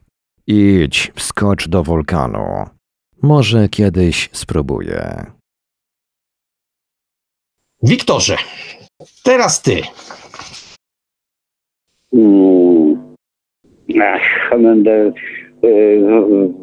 zwykle to wolę się wypowiadać, jakiś ktoś, ktoś się wypowie przede mną. No dobra, żeby, dobra. Oparcie, nie? Dobra, dobra, to cię, po, to cię podeprę. Ja, bo ja dzisiaj, ja jeśli chodzi o to opowiadanie, to to jest opowiadanie, które ja biorę w ciemno. Ja nie mam większych uwag językowych do niego. Znaczy, one są na tyle drobne, że ich nawet nie podkreślałem, bo nie ma sensu. Po prostu to już są naprawdę redakcyjne poprawki. E, ja to opowiadam. Ja to opowiadanie łyknąłem bez problemu. Ono jest dla mnie zwarte, y, z momentami zabawne, a jednocześnie e, nie, to akurat opowiadanie jest mniej przegadane niż, y, niż inne w dzisiejszym zestawie. Zdarzają mu się momenty, ale to jest kwestia, takie momenty, które, y, które bym lekko skrócił, ale to tak naprawdę jest do, jakby dla pióra redaktora już, bo to są poprawki e, natury takiej, że po prostu redaktor proponuje, wie pan co, może to zdanie mm, sobie darujemy. Więc ja do tego opowiadania akurat specjalnie się dzisiaj nie nagadam, bo mnie się to opowiadanie po prostu podobało i ja je spokojnie oddam redaktorowi do redakcji. Uważam, że to jest opowiadanie, które jest, no dla mnie jest ok. A teraz, Wiktorze, ty podpieraj się mną i nie zgadzaj na przykład. Tak, e, bardzo, bardzo chętnie się podparłem już e, i też uważam, że z tych opowiadań, które e, dzisiaj do nas dotarły, to opowiadanie jest po prostu można dyskutować, czy się podoba, czy się nie podoba, natomiast jest chyba najbardziej skończonym opowiadaniem po prostu. Tam tu niewiele trzeba. Jeszcze ci się wetnę, jeszcze ci się wetnę, jeszcze ci się wetnę. Mnie się bardzo podoba na przykład to, że autor nam nie tłumaczy, kim jest Kościej, skąd się tak. wziął i tak. Piękne rozegranie tego. Jest Kościej, jest nieśmiertelny. Ta scena, kiedy oni jego zabijają, a później on zabija ich, bez tłumaczenia, bez mielenia tego wszystkiego, świetnie, świetnie. I dlatego ja jestem pod dużym wrażeniem tego opowiadania. Ono nie jest jakby mm, przegadane, rozkłap, takie rozklapane. Ja mówię, dobra, już nie przerywam, Mów, mówisz ty, przepraszam. Y, to ja tylko pociągnę tą, mm, tą stafetę, bo rzeczywiście y, liter, literaturka ma to do siebie, że każda opowieść powinna nam opowiadać coś. Autora powinno nie być w tych opowiadaniach. Y, od autorskie komentarze y, są zbędne w, do, w dobrym opowiadaniu. To ten świat jest skonstruowany i, i tutaj akurat za chwilkę będziemy e, zupełnie inne zarzuty mm, do Kamila Burego wyciągali. W tym opowiadanku udało mu się nie komentować odautorsko, e, niepotrzebnie zdarzeń, które, które się w tym Y, właśnie tak jak Marek powiedziałeś, w tym się dzieje. I wtedy to jest, dlatego to jest bardzo fajne i bardzo dlatego mówimy skończone opowiadanko. Bo, bo ono, ono, ono ma wszystko do, do wszystkie walory wszystko na, na właściwym miejscu. Ono, w, ono wręcz no i... zas, zasysa czytelnika, bo kiedy tak. do, dostajesz te sceny, mówisz sobie, wow, co to jest za świat? A później jeszcze ten ten, to rozwiązanie fabularne nawiązujące do tych, że daje mu tyle i tyle lat, żeby rozwiązał ten. To, to jest rzecz funkcjonująca w, w, kulturze masowej, to na co się powołuje autor. Um, wszyscy, no może nie wszyscy, ale sporo osób o tym słyszało. To, to moim zdaniem naprawdę to, to są po prostu yy, chwyty, które są jak najbardziej fair jeśli chodzi o działalność pisarską. To znaczy, one są, one są pewnymi skrótami, takimi mykami literackimi, ale dobrze zastosowanymi. To, to opowiadanie się broni, po prostu, żeby już nie gadać. Ja, ja dam przykład e, tego, w jaki sposób e, brak komentarza e, robi, robi fajne jajo z tego, bo akurat tak się śle, śle, wzrokiem wędruje po tekście i, i na przykład Nadar wytarł klinkiem miecza w białą koszulę jednego z mięśniaków, schowaj, schował broń do pochwy ukrytej wewnątrz tuby na rysunki. Bajka zupełnie. Nikt nie wie dlaczego, ale autor nie komentuje żadnej tuby na rysunki, skąd to się wzięło. Ja po co mu, po co mu, autora widział, nie? Po co mu tak, ta tuba? No dokładnie. My sobie no. sami dobudowujemy. A tuba, mm. co, a kim on jest? Zaczyna pracować nasza wyobraźnia. jest powiedziane dokładnie tyle, ile trzeba, żeby wy, wyobraźnię uruchomić, ale też nie jest mhm. zagadywane mm, tak na siłę, żebyśmy, broń Boże, nie poszli inną drogą. Autor tu, gdzie chce, to nami steruje, żebyśmy poszli w określone miejsce, ale jednocześnie daje nam pole takie do, do wyobrażania sobie tego, skąd to się wzięło, dlaczego. Moim zdaniem, a, jak najbardziej tak. Jak najbardziej tak. Tak. Ja, ja, bym, ja bym teraz, tak jak myślę, jeszcze ewentualnie podkreślił jedną rzecz w tym, y, to znaczy taką w tym opowiadaniu y, dyskusyjną jedną, żeby, nie było tak, że już jesteśmy w pełni zachwyceni. Otóż tak jak posłużę się anegdotą. Otóż jak, jak kiedyś wziąłem udział w pierwszym swoim konkursie literackim w Młodym Techniku, to anegdota wygląda w ten sposób. Wiedziałem, był konkurs, postanowiłem wziąć udział w konkursie. W konkursie było, było, e, było wiadomo, że znaczy było wiadomo, że młody technik wtedy po konkursie e, wydaje książkę, zbiór antologię opowiadań konkursowych. Moje podejście kiedy sobie usiadłem i zacząłem pisać, zanim zacząłem pisać, to rozważyłem jedną rzecz. Oczywiście napiszę najlepsze opowiadanie, na pewno będzie najlepsze, bo tak powinien każdy myśleć. Mm, będzie najlepsze, no ale może się nie udać, żebym, że wygram to opowiadanie, bo ktoś może być lepszy, albo może się cośkolwiek innego zdarzyć. Natomiast hmm, jest szansa wygrać coś jeszcze, nie tylko pierwszą nagrodę jest jeszcze szansa wygrać e, tytuł tego zbioru opowiadań.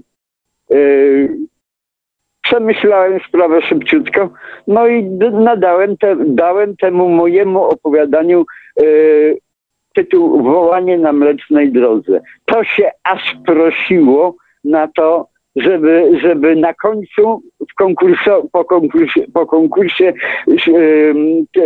tym tego, w tym tomie pokonkursowych opowiadań dać taki tytuł. On był naprawdę, naprawdę z wszystkich opowiadań nadesłanych najlepszy.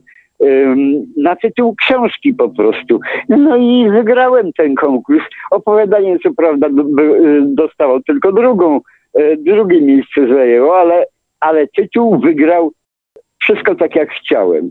No i przy tym opowiadanku też miałbym zastrzeżenia do tytułu po prostu. Można, ja nie myślałem na, nad tym yy, do, w tej chwili na co wpadłem. Ja bym pomyślał nad tym, czy nie można bardziej brawurowy tytuł zaproponować taki, który mógłby wygrać y, konkurs na całą antologię. No. Znaczy, y, I tak antologia się będzie nazywała Rubieże Rzeczywistości, no, ale, wiadomo. Ale, sube, ale sugestia słuszna, z tym, że przepraszam, akurat to można zrobić już na etapie, na etapie redakcyjnym, więc tytuł opowiadania zawsze, zawsze można zmienić a niewiele więcej w tym opowiadaniu, e, poza takimi tak. mówię, redaktorskimi mykami, e, trzeba zmieniać. W związku z tym, no, gratulujemy autorowi po prostu tego opowiadania i e, niniejszy, niniejszym e, go już po prostu jako gotowca kwalifikujemy, kwalifikujemy do czwartego tomu. No to Wiktorze, bierzmy się za kolejne opowiadanie Kamila Burego. Następne opowiadanie to teoria Schrödingera. Marku, prosimy. Kamil Bury, Teoria Schrödingera. Dzień dobry. Witam Państwa na wykładzie Kod Schrödingera i jego dziewięć żyć. Zapewne większość z Państwa słyszała o eksperymencie myślowym Erwina Schrödingera. Jednak na potrzeby wykładu muszę o tym wspomnieć. Problem z kotem w pudełku jest taki, że to co znamy ze skali makro nie działa w układzie nanoskopowym, gdzie pojedyncze, niedostrzegalne dla nas kwanty mają ogromne, wręcz kolosalne znaczenie. Eksperyment austriackiego fizyka jest nietypowy, gdyż uzależnia życie kota, czyli obiektu w makroskali, od pojedynczego wydarzenia w skali nano. Istnieje 50% szans, że wydarzenie to nastąpi i po otworzeniu pudełka kot będzie martwy lub nie. Ale wiedzę tą zyskujemy dopiero po otworzeniu pudełka. Nim to zrobimy, kot znajduje się w superpozycji i jest jednocześnie martwy i żywy. Naturalnie, o ile nie słychać miauczenia z pudełka. Teoretycznie kot ma prawdopodobieństwo przeżycia 1 do 1. Jednak co jeśli kot ma 9 żyć? Czy jego szanse przeżycia wzrastają? I jak w przypadku kota wygląda przejście z jednego życia do następnego? Właśnie na te pytania postaram się dzisiaj odpowiedzieć. Najbardziej popularną teorią odnośnie dziewięciu żyć jest założenie, iż kot dziewięć razy od swoich narodzin jest w stanie nagiąć rzeczywistość do własnej woli. Zmienić prawa fizyki, a nawet cofnąć czas o kilka sekund, co pozwala mu na uniknięcie śmiertelnych obrażeń. Innymi słowy, kot nie umiera, lecz zginąłby, gdyby nie wpłynął na otaczający go świat w sposób paranormalny. Doktor Mark Reyes był zadowolony z przebiegu wykładu. Może temat nie był najbardziej lotny i zahaczał o teorie spiskowe, jednak zagadnienia były istotną częścią jego badań na temat wpływu zwierząt domowych na rozwój cywilizacji. A gdy opowiadało się takie rzeczy w formie niemal paradokumentu, studenci chętniej chłonęli więcej niż w przypadku suchych faktów. Gdy zaparkował na podjeździe, przez chwilę jeszcze nie gasił silnika, tylko wraz z Billem Joelem podśpiewywał, że to nie on wzniecił ogień, dopiero potem wysiadł. Na jego płocie, na wymorowanym z czerwonej cegły słupku siedział czarny kocur, ale gdy Mark odstawił skrzynkę z piwem z bagażnika na ziemię, już go nie było. Wniósł zakupy do mieszkania. Odgrzał sobie lasagne zostawioną przez żonę i rozpoczął maraton Futuramy, naturalnie podlewany piwem. Omal nie popłakał się na odcinku o tym, że pies jest najlepszym przyjacielem człowieka, a potem zasnął w fotelu. Sobotę rozpoczął od wypicia pół butelki wody i wizyty w toalecie, a potem poszedł pobiegać. Zawsze twierdził, że nie ma lepszego lekarstwa na kaca niż ruch. Przebiegł około pięciu kilometrów. Gdy był już na podjeździe, zobaczył, że na jego małym podwóreczku są aż trzy koty. Jeden, biały, leżał na masce garbusa i grzał się w słońcu. Czarny kręcił się przy marchewkach w ogródku, a rudosiwy bezczelnie obsikiwał klomp róż, trzęsąc ogonem.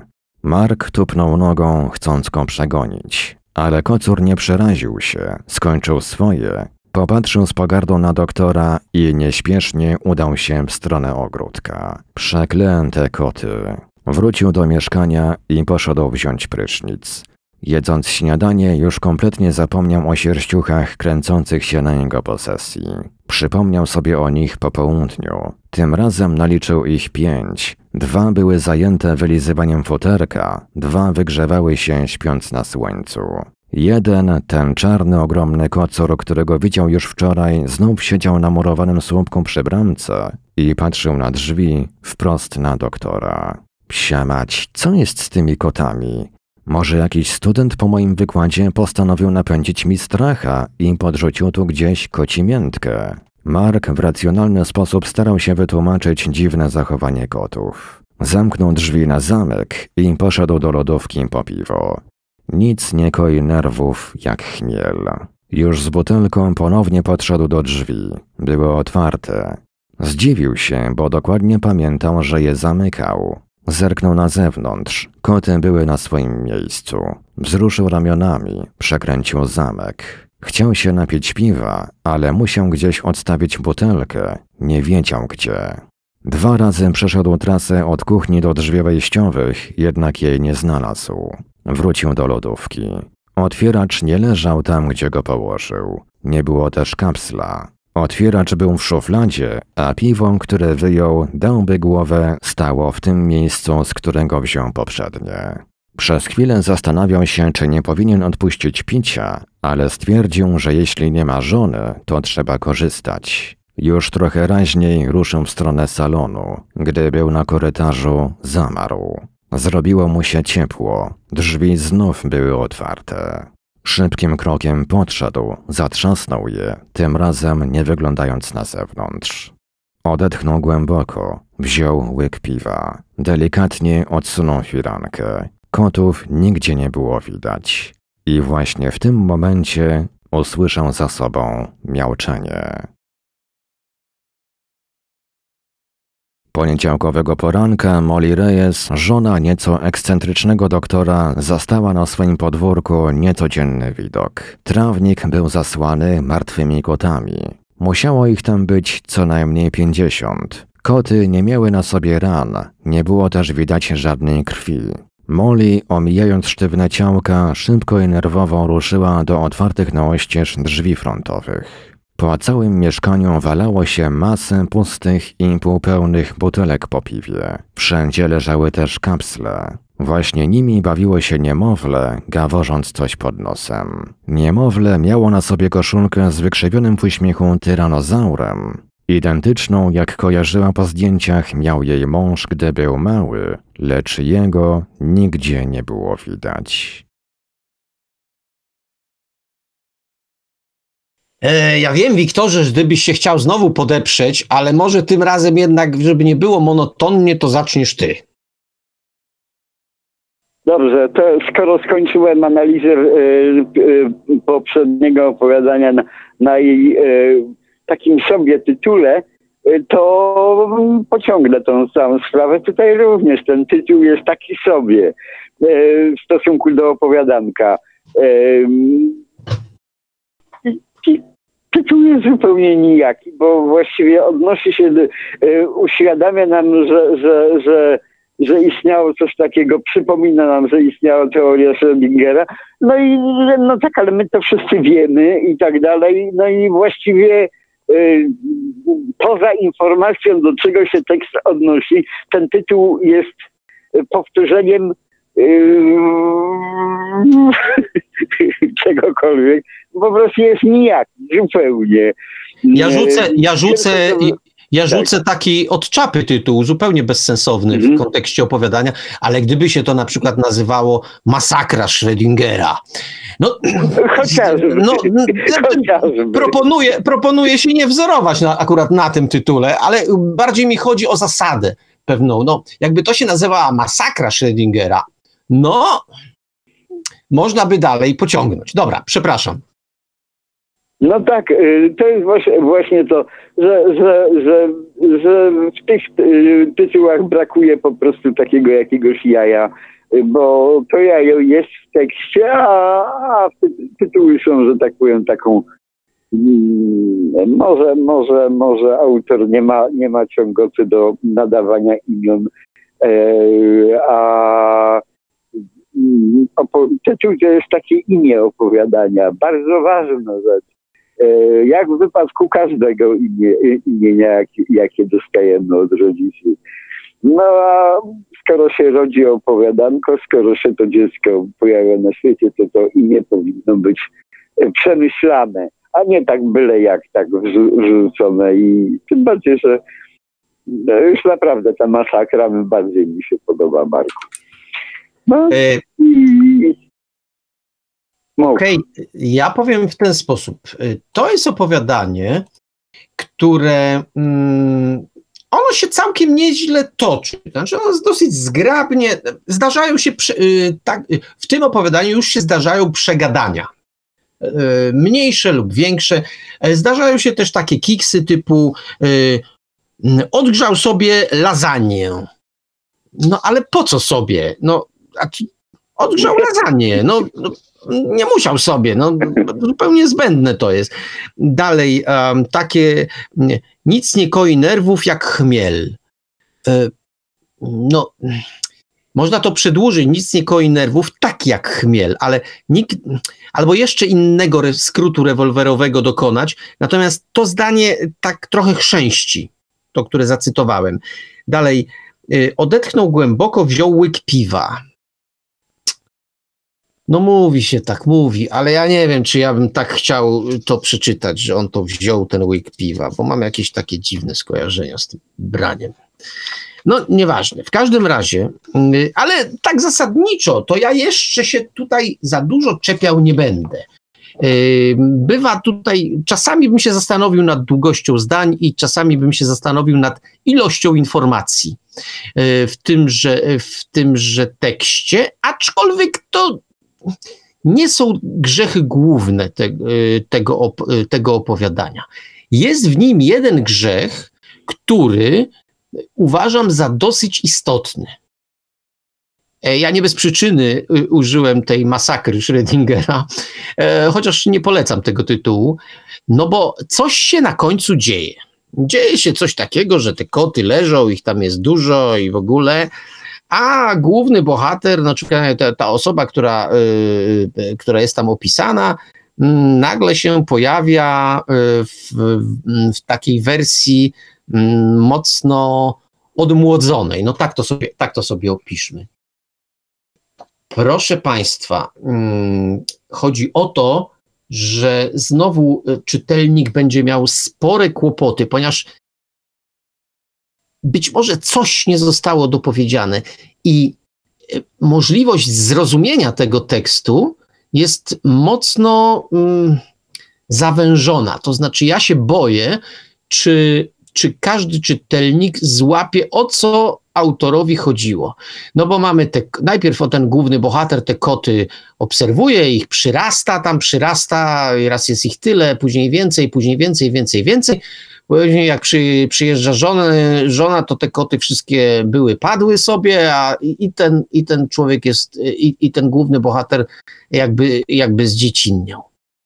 To oczywiście jakoś tam y, robi puk-puk do, do fizyki, do, do, do, do, pewnych, do pewnego rozumienia, do fizyki kwantowej, czy, czy w ogóle do, do, do, do tych, ale to jednak, zwróćcie Państwo uwagę, to się nie tłumaczy y, tak shortowo, to znaczy nie ma jasnego przekazu, chyba, że ja go po prostu nie łapię. No ale skoro go nie łapię, to znaczy, że zaliczam do tej grupy, która nie złapała żartu, a jak jak się w szorcie nie łapie żartu, to oczywiście no, mogę być kretynem, to też się, to też się zdarza, no, ale ja się obawiam po prostu, mam taką obawę, że spora część, spora część odbiorców również te, te, tej puenty, te, tego nawiązania nie złapie. I znowu, być może to wymaga kosmetycznych zmian, jakichś takich pojedynczych wyrazów wrzuconych, żeby to się stało jaśniejsze. Nie wiem, Wiktorze, co sądzisz o tym, co mówię? Ja dokładnie tak samo. Y, opowiadanko mi się, y, wtedy je przeczytałem, bardzo spodobało, natomiast go absolutnie nie zrozumiałem. Y, ten cały gówniarz na końcu też mi się bardzo spodobał. Natomiast moje skojarzenie było wyłącznie z, z teorią względności po prostu i, i, i z tym, że tam, tam jakieś, tego, jakieś, takie były lemowskie zabawy, że ktoś się samym sobą spotykał formie dzie dziecięcej, że tak powiem. Czyli ja, ja też nie wiem, o co autorowi ogóle naprawdę chodziło. Na pewno jakiś mechanizm y, odwzorował i mógłby mi to wytłumaczyć, ale on Kamil Bury nie ma mi tego wytłumaczyć, kiedy sobie będziemy spacerować nad jeziorkiem gdzieś w, w, w Niedzicy, tylko po prostu y, to opowiadanko ma dotrzeć do mojego mózgu, a nie dotarło y, w sensie, y, tak jak ty powiedziałeś dokładnie, to, to do mnie nie, nie dotarło. Też nie wiem, ale ja akceptuję to opowiadanko. Nie, no tak jest, powiem, no, opowiadanie no, jest okej. Okay. Opowiadanie jest okej. Okay. Ty, tylko ma tą cechę, że tak powiem, taką damską. Jest, Marku? No tak, tak. tak. To znaczy, jest, jest piękny, ale go nie rozumiem. A to akurat zrozumiałem, zanim mi wytłumaczyłeś. To akurat złapałem. Aż taki temp, jednak aż taki tępy nie jestem. Ale e, być może, ja mam taką swoją prywatną teorię, że być może temu opowiadaniu, znowu, e, już się zdarzył dzisiaj taki przypadek, wystarczy, nie wiem, mm, jakiś krótki cytat z podręcznika fizyki albo y, z jakiegoś innego źródła. Coś, co pozwoli powiązać 50 martwych kotów, przemianę głównego bohatera Mhm. i wcześniejsze wydarzenia w całość, która mówi, człowiek się palnie, ach no, o to chodzi. Jasne, Mhm, mhm, jasne. mhm. Być może cza- czasami się zdarzają, bo gdzie się umieszcza motto? Na ogół przy tytule, prawda, na początku. A gdyby motto, zrobić taki eksperyment, no taki trochę, e, trochę postmodernistyczny, e, umieścić motto, ale na końcu. Czyli człowiek dochodzi do tego samego momentu, e, jak my, czyli kuźwa, przeczytałem opowiadanie, podoba mi się, ale go nie rozumiem. I czytam motto na końcu i go rozumiem. I to już w ogóle Mhm. byłby Mhm. majster, to byłby majstersztyk. Czegoś tu brakuje. I e, no i cóż, panie Kamilu, no to, to jest to jest okej opowiadanie, ale jemu naprawdę jemu trzeba drobia, jakiegoś drobiazgu, e, jakiejś drobnej jak to się, kosmetyki. I dla mnie super.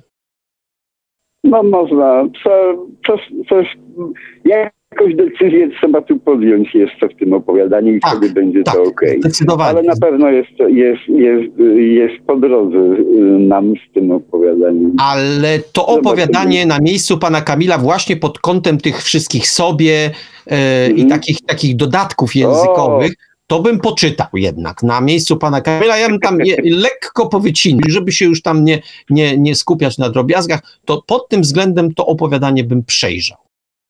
Nawet, nawet nie lekko, Marek, bo jeżeli... Oj, już ty tak lubisz, ty tak do to, pieca lubisz zawsze Tak. dorzucać. No dobra, to dorzucaj. y, Zwróć uwagę na samą końcówkę opowiadania. Mamy Zwróciłem. od, od, od, od. Po całym mieszkaniu, dobrze, po całym, yy, koniecznie musi być po całym. Tak, jak najbardziej. Można sobie wyobrazić. Ale aby, aby, zwalało patrz, jaka e, byłaby, jaka byłaby piękna sytuacja, gdyby tylko po połowie mieszkania się coś tam Tak, działo. tak, No. tak. Ale walało się, walało się yy, mas...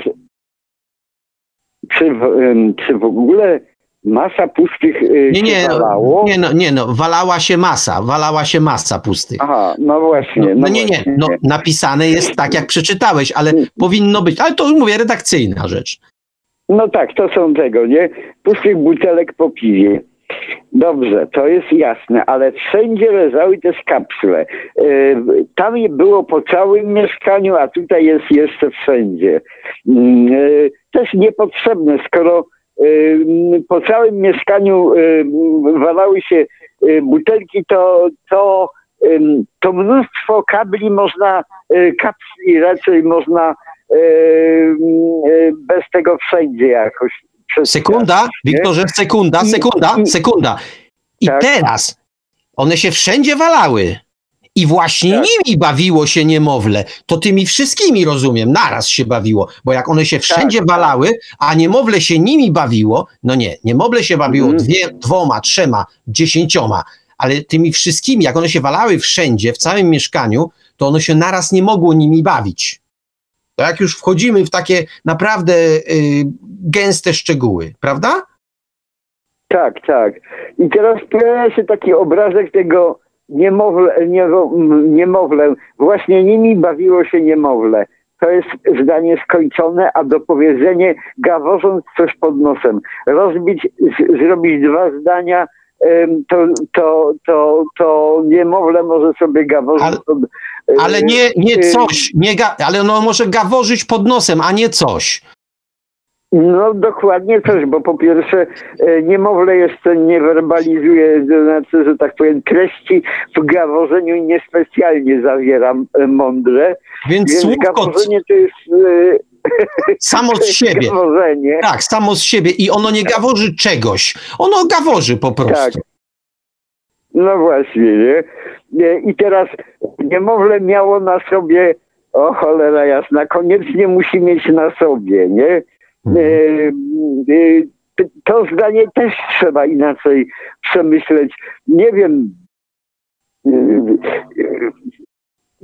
Wie, wiele, wiele, wiele można napisać na temat niemowlę, niemowlęcia m, ubranego szczególnie w bardzo dużą koszulkę, Bo Ale nie, nie znowu, rozumiem, dla, Wiktorze- ta przemiana, tak, Znowu stop.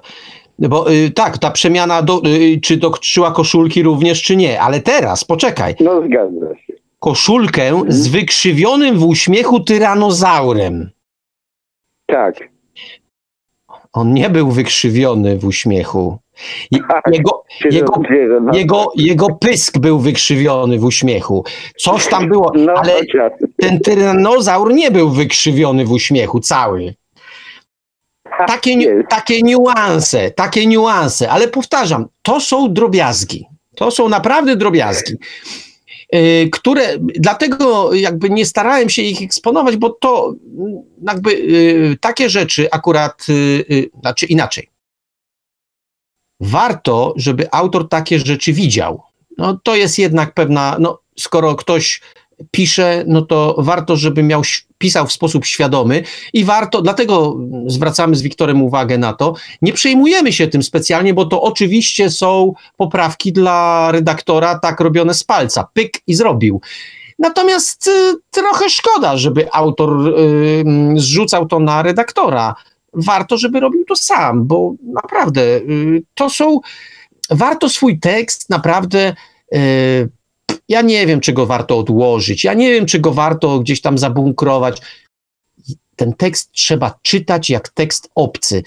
Naprawdę, ja już to powtarzałem, tu mam czasami wrażenie, że dziesiątki razy. Swój tekst należy czytać jak tekst największego wroga. Z taką intencją, żeby znaleźć wszystko, co ten tekst kompromituje. Czyli mówię sobie, napisałem tekst i teraz ten tekst to jest tekst faceta, którego nienawidzę i zrobię wszystko, żeby go ośmieszyć. I tak czytajcie Państwo swój tekst. Czepiajcie się Państwo rzeczy, które nawet y, może y, redaktor by się do tego nie przyczepił, a Wy się przyczepcie, bo ten tekst wtedy będzie lepszy. Tak traktujcie swoje teksty. No to tyle, no po prostu.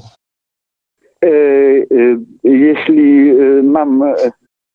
Był taki kiedyś film bardzo dobry, czyż nie dobija się koni. No ja będę dobijał tego konia jednak do końca, bo e, jeśli się już pojawiło to niemowlę na, na samym końcu, bo to już jest puenta opowiadanka. Ma, ma, ma, ma tą koszulkę z tym wykrzywionym w uśmiechu tyranozaurem.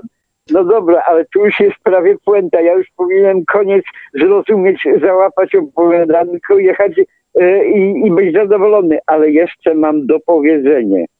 Identyczną, jak kojarzyła e, po, e, kojarzyła po zdjęciach, miał jej mąż, gdy był mały, lecz jego nigdzie nie było widać. O kurwa mać, Holender jasny. No, E, ostatnie zdanie, napisane ostatnie zdanie Tak. jest naprawdę e, no jak powiem, że jest, za Tak. długie. Jak powiem, że jest za długie, to powiem to bardzo delikatnie. Bardzo to delikatne, Tak, za ale dużo. teraz y, zobaczmy, y, zoba, zobaczmy jak można było, ja będę Kamilowi Buremu tutaj proponował, żeby jak można rozegrać. Y, Nie wiem czy gdzieś, ale dużo lepiej jak ta strzelba w, w amerykańskim westernie, żeby gdzieś na samym początku, kiedy jest opo, o, opisywanie ym, nie, ten y, opisywanie jakiegokolwiek mieszkania, y, czy, czy, mm, czy na, nie wiem, na samym początku y, przy tym y, gdzieś jakoś pomieścić fotografię, y, stojącą fotografię tego y, męża, tej całej, tej tam i tak dalej, y, kiedy był właśnie w koszulce z tym tyranozaurem. Tak jest, oczywi- oczywiście. Pojawiło. Oczywiście, No. że tak. I wtedy nie I trzeba by Już, tak. nie trzeba by nic Mhm. tłumaczyć na końcu. Tak się to właśnie No. robi. Tak się to. Nie, Wiktor, bo to dokładnie to, co mówisz. Y, Ja wiem, że w pierwszej wersji tak to wyglądało. To, tak by to Powiedzmy, ja bym tak pisał, tak by to wyglądało, ale później bym sobie powiedział, o kuźwa, przecież to zdanie No, trzeba wyrzucić gdzieś do przodu, żeby przygotować czytelnika na tę koszulkę z tyranozaurem. Czyli wrzucam to do przodu y, strzelba została zawieszona na ścianie i ta strzelba ma wystrzelić na końcu. Będzie mi ta koszulka potrzebna, to ja ją wprowadzam gdzieś wcześniej. Dokładnie to, co powiedziałeś. To pozwala nie mnożyć słów w ostatnim zdaniu, a wszystko jest jasne. No i jeszcze w dodatku jasne i zaskakujące równocześnie. Tak, oczywiście, tak. Ale, ale to są naprawdę, wierzcie mi Państwo i y, wierz nam, szanowny autorze, to są jednak drobiazgi. To, co mówimy, drobiazgi, e, pamiętam, w jakimś tam stopniu znaczące i decydujące o tym, jak się utwór odbiera. I y, na pewno byśmy nie odpuścili na etapie redakcji. No ale skoro mamy taką możliwość y, podyskutowania, to właśnie dyskutujemy. Natomiast zdecydowanie w tym opowiadaniu brakuje nam przejrzystości. O to, o czym mówiliśmy, e, tego powiązania wydarzeń, jak to się przekłada. Bo to, że są te koty martwe, w ogóle ja lubię koty i tak mi się smutno zrobiło przy tym, ale drobiazg. To, że on jest mały, no to dajmy czytelnikowi szansę. I ty, autorze, y, panie Kamilu, y, daj czytelnikowi szansę. I dlatego to opowiadanie trzeba podkręcić, e, zanim ono, ono się e, na łamach e, rubieży rzeczywistości czwórki pojawi. To ja tyle. A ty, Wiktorze? Ja też. Brawo, brawo, jeszcze, jeszcze. Tak. No to jak jeszcze, to mamy jeszcze jedno opowiadanie, również y, napisane przez Kamila Burego. To opowiadanie nosi tytuł Jeszcze jedna historia.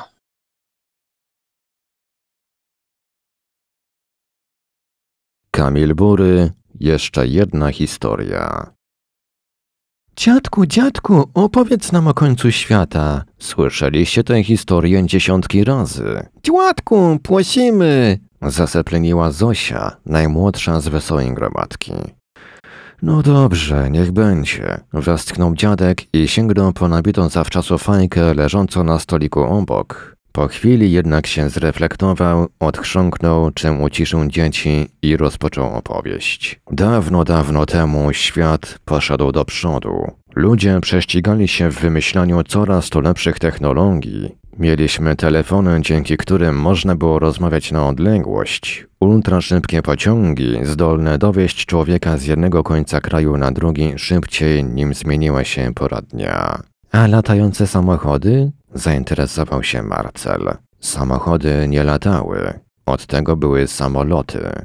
Ale kiedyś mówiłeś, że jeden samochód doleciał do Marsa. To zupełnie inna historia. To była akcja reklamowa. Co to akcja reklamowa? Lepiej, żebyście nie wiedzieli. Jeśli mamy tworzyć nowy świat, to bez reklam będzie zdecydowanie lepszy. Niektóre rzeczy są nieuniknione. Wtrącił się Mieczysław, ojciec kilku dzieciaków, syn opowiadającego staruszka. Reklamy prędzej czy później powstaną. Taka już jest ludzka natura. Lepiej później niż wcześniej, tak z reklamami, jak i innymi pomysłami. Dziadku, miałeś opowiadać historię, oburzyły się dzieci. Dobrze, dobrze. Na czym to ja. A tak, świat bardzo szybko poszedł do przodu. Ciężko było nadążyć za wszystkimi odkryciami i wynalazkami. Jednak większości ludzi nie obchodziła nowa wiedza.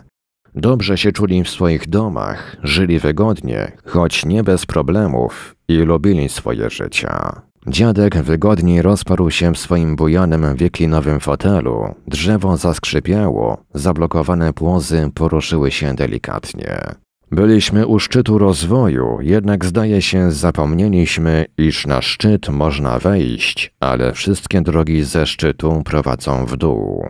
Dlatego, pomimo wszystkiego, co udało nam się osiągnąć, ludzkości dotykały różne liczne problemy. Głód na świecie, przemoc, rasizm, ten prawdziwy i wymyślony jedynie dla propagandy i zysku, wirusy i głupie decyzje polityczne. Mimo to wciąż parliśmy do przodu. Niektórzy znosili to lepiej, inni gorzej. Część wypierała prawdę, część nie chciała o niej słyszeć i myślała jedynie o sobie. Wielu uważało, że walka nie ma sensu, bo cóż może zmienić pojedyncza osoba w konfrontacji z tłumem. Dziadek nie oczekiwał odpowiedzi. Wiedział też, że dzieci nie rozumieją wszystkich słów, jednak słuchały, bowiem opowieści pozostały jedną z nielicznych rozrywek na tym świecie i żadne dziecko póki co nie ośmielało się przerywać. Media nie pomagały. Rozdmuchiwały wydarzenia i przekrzywiały rzeczywistość, byle tylko sprzedać sensacje, choć tak naprawdę zamiast pomagać i informować, wywoływały głównie złość, irytację i panikę. Mieczysław pokręcił głową. Nie miał ochoty słuchać wywodów starego. Przerabiał to zbyt często i wiele go irytowało w tych opowieściach. Za to dzieciaki z całej osady, która rozrosła się wokół fortu, wciąż tu przychodziły i słuchały, wpatrzone w dziadka jak w obrazek. Może to dlatego, że nikt inny nie chce opowiadać im historii, a jedynie czegoś nauczyć albo zagnać do pracy. Pomyślał i wyszedł do warsztatu. Miał parę drobiazgów do naprawy. Ludzie zapomnieli, jak żyło się dawniej. Nie wyobrażali sobie świata bez codziennych udogodnień i rozrywek, o jakich nasi przodkowie nawet nie marzyli. Żyli z rozpędu i cały czas za czymś goniąc. Dziadek podrapał się po brodzie, zastanawiając się, o czym opowiedzieć w dalszej kolejności. Była masa rzeczy ważnych i tych zupełnie nieistotnych, lecz takich, które warto znać. Zupełnie jak z książkami. Nie da się przeczytać ich wszystkich. Życie jest zbyt krótkie i stawia przed nami wybór, z czym się zapoznamy. W tamtych czasach wszyscy bali się wirusów. Po części słusznie, ale rządziła tym przesada. Liczne teorie spiskowe siały strach. Jedna z nich mówiła, że ocieplenie klimatu roztopi lody na obu biegunach, co spowoduje, iż do atmosfery z lodu wydostaną się wirusy, które zabiją wszystkich. Co to ocieplenie klimatu? zapytał Jaś, szczelniej owijając się skórzaną, zbyt dużą dla małego chłopca kurtką. To zjawisko, pod wpływem którego na całym świecie miało zrobić się cieplej, spowodowane wypuszczaniem do atmosfery gazów cieplarnianych. A kto te gazy wypuszczał? Wmawiali nam, że to my, prości ludzie, wymyślali ograniczenia. W biedniejszych krajach narzucali normy spalin, a wielkie korporacje i państwowi giganci mieli to w dupie i sami robili co chcieli. Dziadek, jak wszyscy starzy ludzie, nie przebierał w słowach i mówił co myślał, nie zważając, że niedługo słówko dupa rozprzestrzeni się wśród dzieciaków i stanie się bardzo popularne, produkując masy zanieczyszczeń.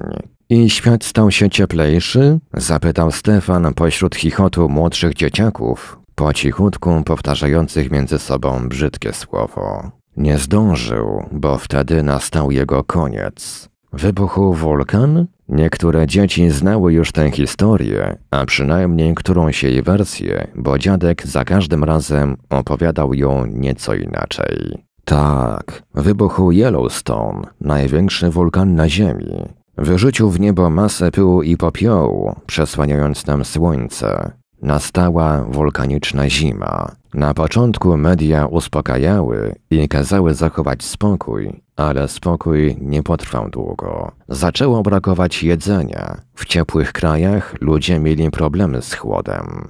Dziadek sięgnął po fajkę, odruchowo w ogóle o tym nie myśląc, i zapalił. Dzieci zachowały milczenie.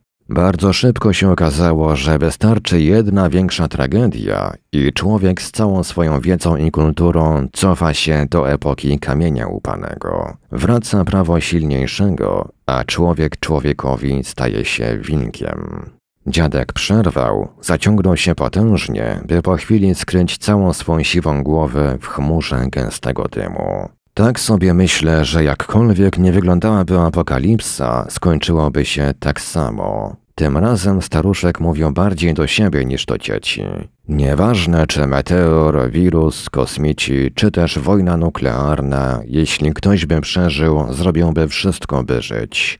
Choćby miało to oznaczać prawo wilka i wyzbycie się człowieczeństwa. To zawsze jest powrót do tego archaicznego, pierwotnego instynktu, nieważne jak daleko pchniemy cywilizację.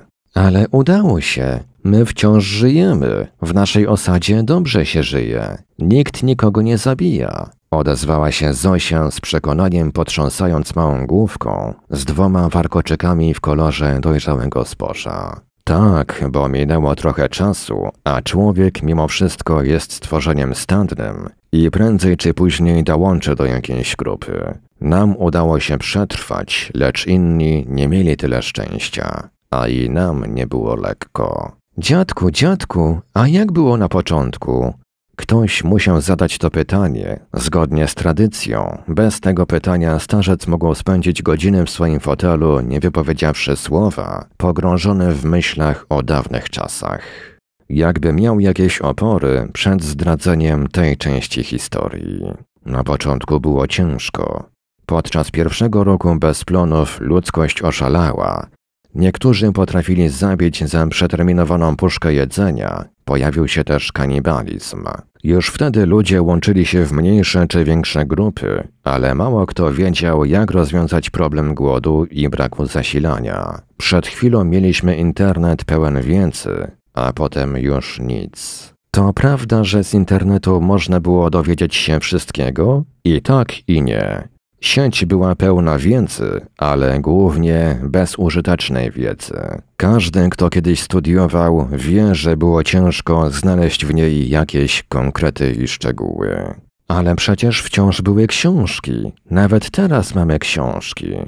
Mamy, ale co z tego? Książki też nie odpowiedzą na wszystkie pytania. Na przykład w książkach znajdziecie informacje, jak są zbudowane silniki i generatory, wiedzę, z czego składają się żarówki, które emitują światło, przy którym rośliny będą się rozwijać. Ale nikt w książkach nie pisze o procesie produkcyjnym, o tym, jak wytworzyć je w domowych warunkach, albo nawet jak je zrobić, mając odpowiednie maszyny. Budowaliśmy tę oazę na ochłapach dawnej wiedzy, często metodą prób i błędów. Ale mamy te żarówki. Nazywają się lampami sodowymi. Są jeszcze Land Grow i CLF. Tak, dzieci, wiem, że się o tym uczycie, ale tak naprawdę to wiedza, którą ktoś musiał zdobyć na nowo. Cała masa równie przydatnej wiedzy przepadła i raczej nieprędko powróci.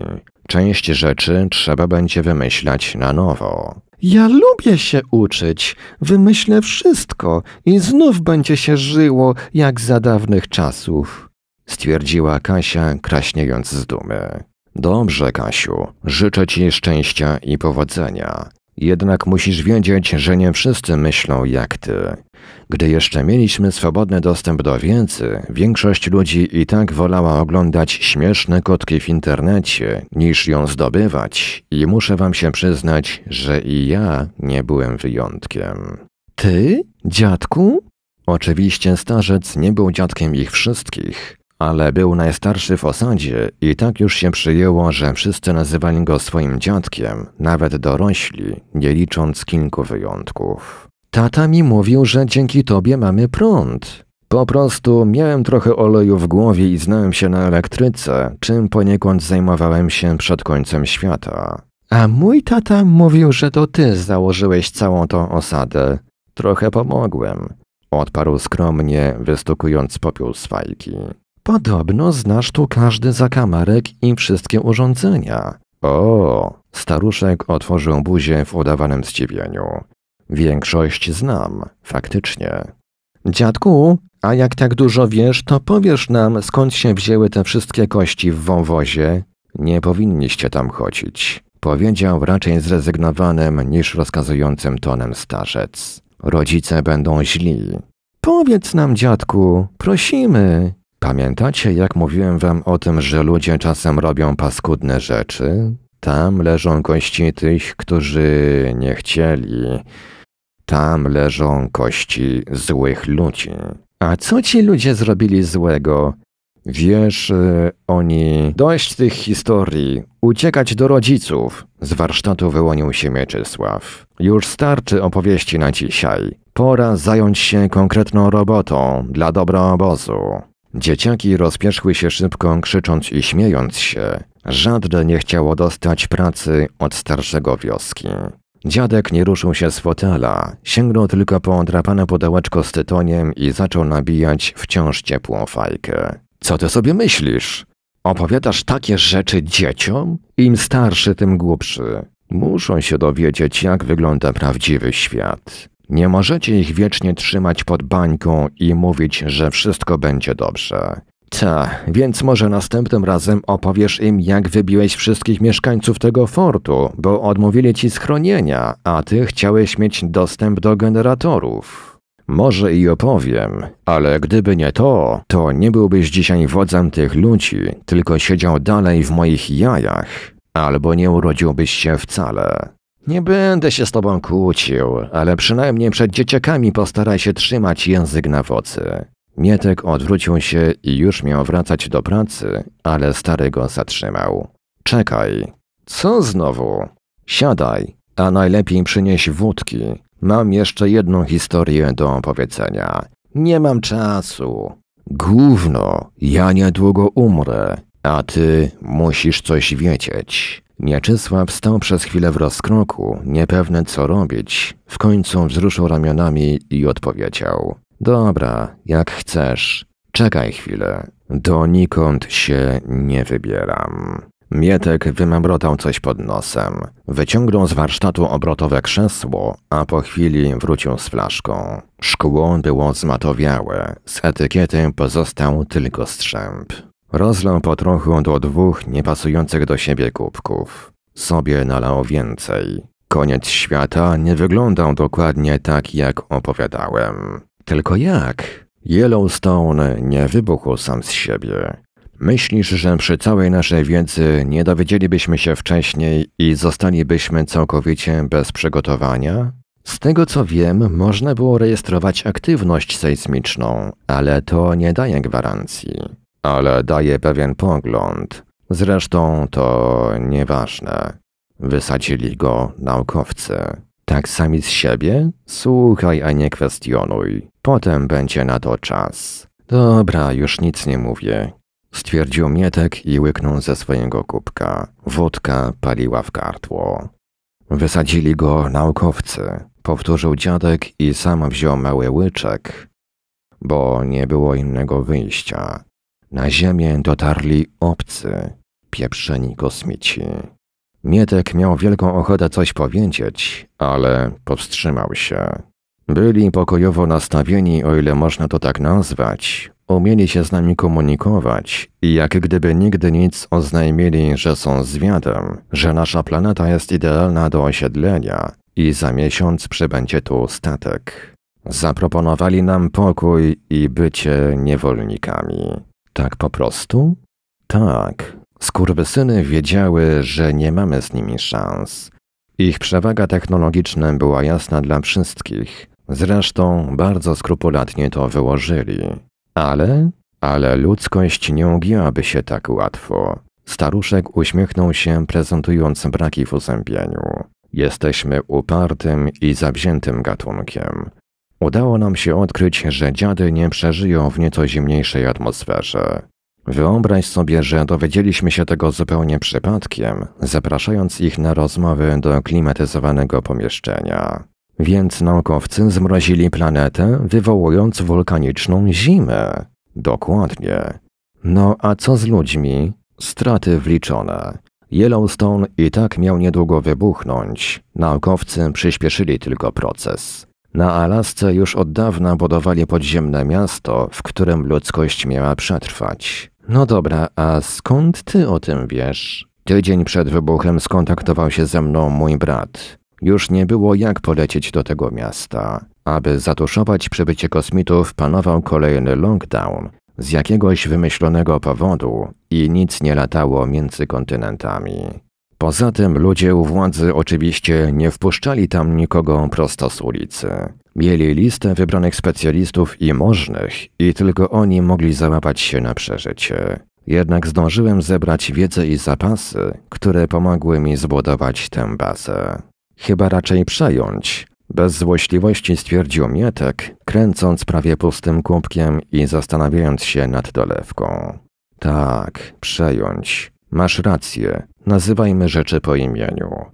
Gdy inni żyli jeszcze w błogiej nieświadomości, ja robiłem zapasy, gromadziłem broń, przeglądałem mapy i plany, uczyłem się schematów i obsługi generatorów.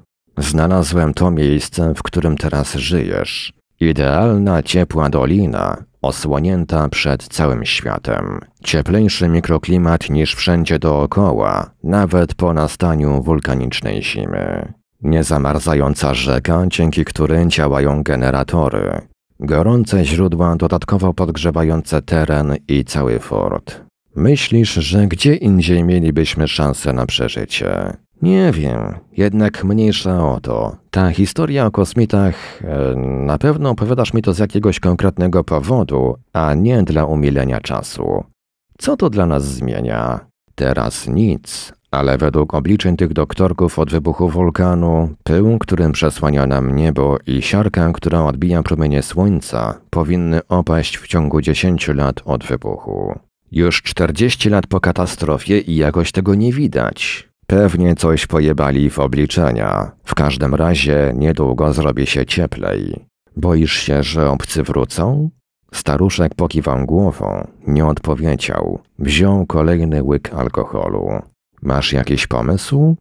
Nie, ale mam nadzieję, że tajny bastion, o którym ci powiedziałem, ma jakiś plan, oznajmił dziadek. Mamy zaufać ludziom, którzy zniszczyli naszą planetę i zabili większość ludzkości?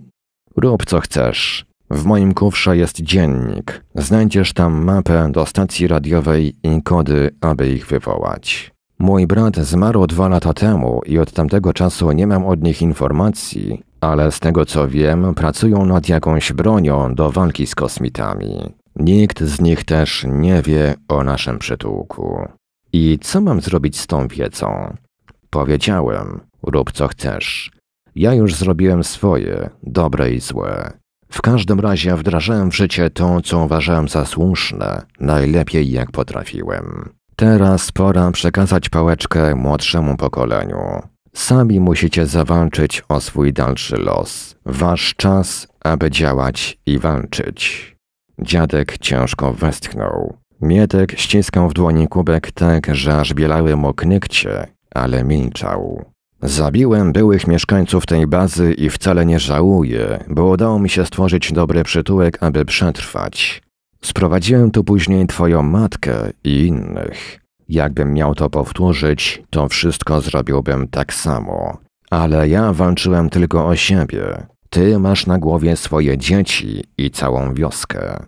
Co zrobisz, twoja wola. I życzę ci tego, abyś na stare lata nie mógł sobie zarzucić, że czegoś nie zrobiłeś, choć mogłeś.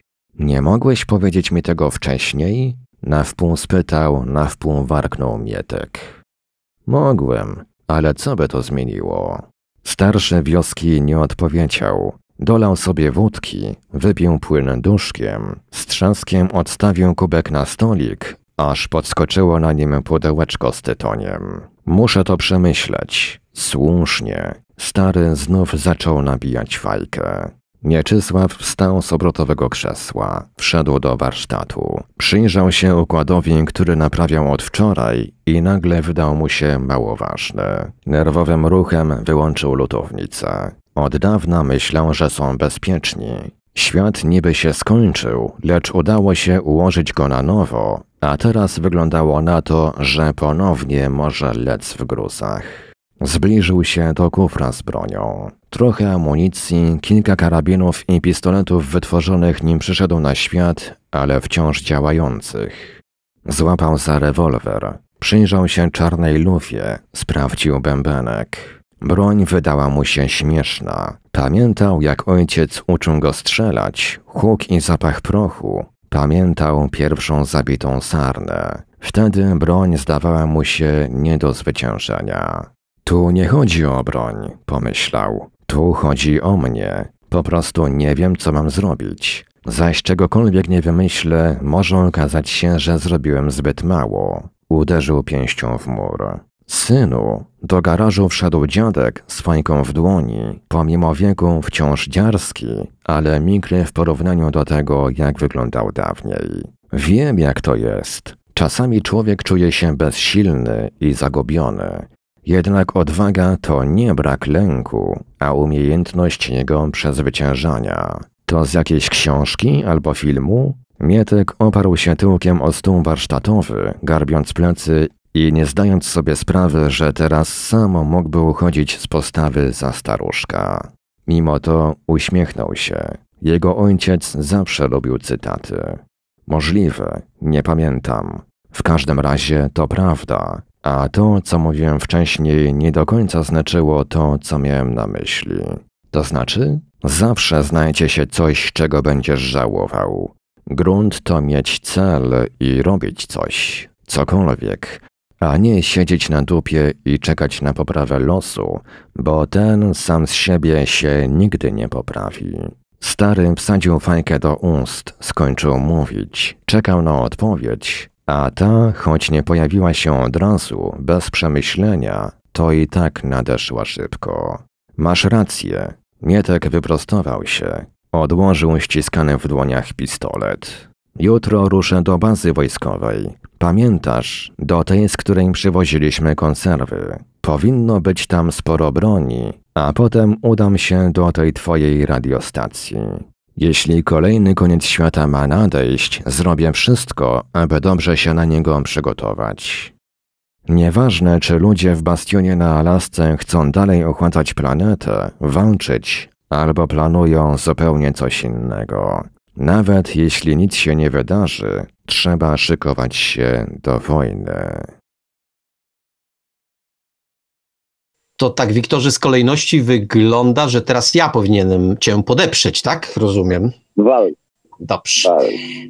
To jest opowiadanie, zostawiliśmy sobie na koniec, żeby jednak nie być takim, żeby nie być, żeby nie być ludźmi, którzy się tylko czepiają, więc na początku były opowiadania, to, które nam się najbardziej podobało, później takie, no, to ostatnie, naszym zdaniem, e, mówię w liczbie mnogiej, ponieważ rozmawialiśmy przed audycją, dlatego czuję się w jakiś sposób upoważniony, ale Wiktor i tak powie swoje. W każdym razie, naszym zdaniem, to opowiadanie, doszliśmy do takiego konsensusu, ono jest właśnie z gatunku tych przegadanych. Y, Tu autor nie stosuje tego zabiegu jak z kościejem, tylko dopisuje, dopowiada, dopowiada, dopowiada, dopowiada, precyzuje. Czasami jest po prostu tego za dużo. Ja wiem, że pewne rzeczy trzeba tu doprecyzować, bardziej opisać, skąd się pewne rzeczy wzięły, i to wszystko jest jasne. Ale myślę, że autor wpadł tutaj w pułapkę, w tym opowiadaniu, y, tłumaczenia takiego drobiazgowego. To stąd, to stąd, to z tego, to z tego, to z tego. Trochę jest tego za dużo. I przez to ono jest przegadane, aczkolwiek, no, dobrze, ja może źle zacząłem. To jest opowiadanie, które wciąga. Ono się czyta ciekawie. Ci kosmici, którzy się tu pojawiają, no, no powiem tak, no, powiem szczerze, nie podejrzewałem do momentu, kiedy przeczytałem o tych kosmitach, że to w ogóle e, może o coś takiego chodzić. Okej, to powiedzmy, nie jest pomysł jakiś specjalnie nowatorski, ale z drugiej strony y, doceniajmy, że, że, że, że tak został zastosowany, a nie inaczej. To dla mnie jest to, dla mnie jest to okej. I są tu też zabiegi bardzo poprawne, bardzo takie, takie literackie, typu właśnie kwestia tych, tej doliny z kośćmi, pewnego niedopowiedzenia, jak to się stało, no to, później się wyjaśnia, y, wyjaśnia się, co się stało e, w, w, w tym miejscu, jak zostało zdobyte, jak zostało opanowane. To wszystko jest ok, ale jednak ten motyw przegadania w tym opowiadaniu się zdecydowanie pojawia. Pojawiają się y, również takie te kiksy językowe, typu dziadek przerwał, y, przerwał. Y, tu przecinek powinien być. Dziadek przerwał, przecinek, zaciągnął, y, w oryginale nie ma. Zaciągnął się potężnie. Ja wiem, czy potężnie. No dobra, niech będzie, że potężnie. By po chwili skryć całą swą siwą głowę w chmurze gęstego dymu. No, a dlaczego całą? No, no, czemu to służy? Czemu to służy, to całą? Dalej, na początku media uspokajały i kazały zachować spokój. A to nie jest przypadkowo to samo? No, tak sobie, tak mi to przyszło do głowy. Nawet dorośli, czytam dalej, że wszyscy nazywali go swoim, swoim dziadkiem, nawet dorośli, nie licząc kilku wyjątków. Ja wiem, ja wiem, że czasami, ale to się da zgrabniej rozegrać y, mimo wszystko, niekoniecznie w tym zdaniu, że nie wszyscy nazywali dziadka dziadkiem. Pytanie, czy to czemuś służy, ale jeśli autor ma dużą potrzebę podkreślenia, to da się to zrobić zgrabniej. Da, da się to zrobić zgrabniej. Dalej. Nie możecie ich wiecznie y, trzymać pod bańką i mówić, że wszystko będzie dobrze. Nie znam tej frazy, trzymać kogoś pod bań, bańką, pod kloszem, ale pod bańką, ale może się czepiam. Nie wiem. Ja też się lubię czasami poczepiać. Ale mam następne zdanie. Donikąd się nie wybieram. Zauważcie Państwo, że tu mamy podwójne przeczenie w ogóle w zdaniu. Rzecz, której należy w języku polskim unikać. Anglicy bardzo lubią podwójne przeczenia, oni się potem pasjonują. Tu, tu zresztą czuję się niekompetentny, to prędzej Iwelios by nam to wytłumaczył, ale z tego co pamiętam jeszcze, to Anglicy kochają się w podwójnych zaprzeczeniach. W języku polskim jest to y, oczywiście dopuszczalne. Wszystko, co da się powiedzieć, y, pomyśleć, to się da powiedzieć ale jednak bym unikał, że donikąd się nie wybieram. Da się to powiedzieć lepiej po prostu. E, dalej, byli pokojowo nastawieni. Ci obcy, bo to chodzi o tych obcych, byli pokojowo nastawieni, o ile można tak to nazwać. E, umieści, e, umieli się z nami komunikować i e, jak gdyby nigdy nic, e, to akurat zdanie strącone, brakuje przycinków. W tym w ogóle opowiadaniu wielu przycinków brakuje. To takie nawiązanie do tego, o czym będziemy mówili za chwilę. E, oznajmili, że są zwiadem, że nasza planeta jest idealna do osiedlenia i za miesiąc przybędzie tu statek. Zaproponowali nam pokój i bycie niewolnikami. Ja rozumiem pewien komis, który tutaj sobie autor za, zaprogramował, że to ma być pokój i niewolnictwo, ale o tym pokoju już po pierwsze jest w pierwszym zdaniu, więc może, mm, może sobie odpuścić w pierwszym zdaniu i zostawić taką puentę, czyli zaproponowali nam pokój i bycie niewolnikami. To wtedy jest zaskakujące. A jak już wcześniej słyszeliśmy o pokoju, później tak, no znowu ten pokój na przestrzeni dwóch linijek. Pokój, pokój no i tak naprawdę w tym zdaniu zaskakujące jest to bycie niewolnikami. E, kwestia tego, czy bycie niewolnikami, czy po prostu no, niewolnictwo, czy jakoś jeszcze inaczej, to nie, nie, nie wchodzę w to. E, dalej, następna strona. Pewnie coś pojebali w obliczenia, tu literówka po prostu, w obliczeniach. E, cóż dalej, jeszcze sobie sięgnę na koniec sam. Już, już, już. E, dalej. Jest coś takiego. E, nikt z nich, e, mm, nikt z nich też, też nie wie o naszym przytułku. Jakąś, znaczy tak, bo tam jest taka, taka sytuacja, gdzie oni niby się kontaktują z tamtym, z tamtym fortem gdzieś daleko, daleko, no to, a jedno, kontaktują się, ale z drugiej strony nikt z tamtych nie wie o tym przytułku. No, no dobrze, ale wiedzą, że gdzieś są ludzie przecież. Jaka to jest informacja? Czemu ona służy? Mm, jest to niejasne. Nie wiem, czy, czy ja się, Wiktorze, jasno wyrażam w tej kwestii. W każdym razie jest taki kiks, którym y, najpierw się dowiadujemy, że co prawda y, przedstawiciele tej tej grupy, w której, którą poznajemy, kontaktują się z tym, z tym fortem, ale tamci nie wiedzą, że tu jest jakiś, e, jakieś, jakieś miejsce osiedlenia. No to skąd się biorą ci ludzie, którzy się z nimi kontaktują? E, pewno da się to zgrabniej przedstawić po prostu. Dalej, gdzieś w połowie strony przedostatniej mm, jest tak, taki zbieg słów. Co zrobisz, e, nie, co zrobisz, znowu brak przecinka, co zrobisz twoja wola i życzę ci tego, abyś na stare lata nie mógł sobie zarzucić że czegoś nie zrobiłeś, choć mogłeś. I dalej, yy, następne zdanie. Nie mogłeś powiedzieć mi tego wcześniej? no, unikałbym takich zbiegów, zbiegów tych samych słów. I dalej. Ostatnia strona. Mm, powinno być tam sporo broni, a potem udam się do tej twojej radiostacji to jest taki element gadulstwa. Na, na to jutro, no, przeczytam całość. Jutro ruszę do bazy wojskowej. Pamiętasz, do tej, z której przywoziliśmy konserwy. Powinno być tam sporo broni. E, no jak przywozili te konserwy, to co on kuźwa nie wie, czy tam jest broń, czy nie? No był tam już, albo nie był. No coś musi o tej bazie wiedzieć.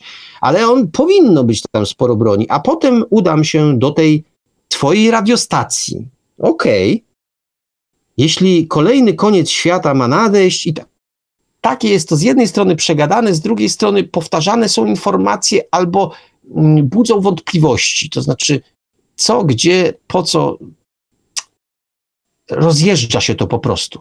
Być może na skutek tego, że jest przegadane po prostu.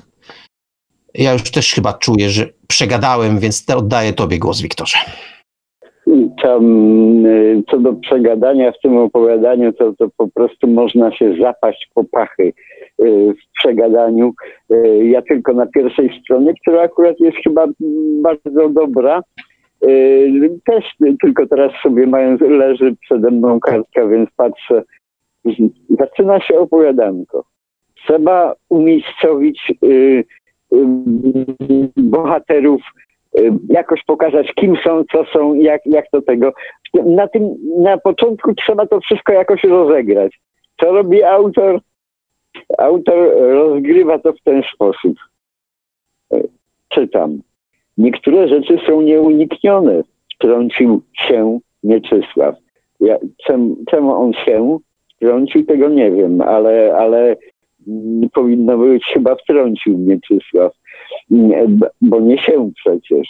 No ale dobrze. Niektóre rzeczy są nieuniknione, wtrącił Mieczysław. Cidek. Ojciec kilku dzieciaków, syn opowiadającego staruszka. O kurwa mać.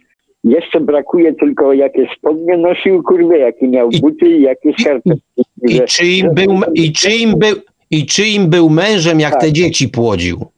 O, o, o, o, I koniecznie, nawiązując do pewnego klasyka, tego, Nawiązując do pewnego klasyka internetowego, e, koniecznie jeszcze powinien być tam podany numer buta, fiuta, długość i średnica. No, no.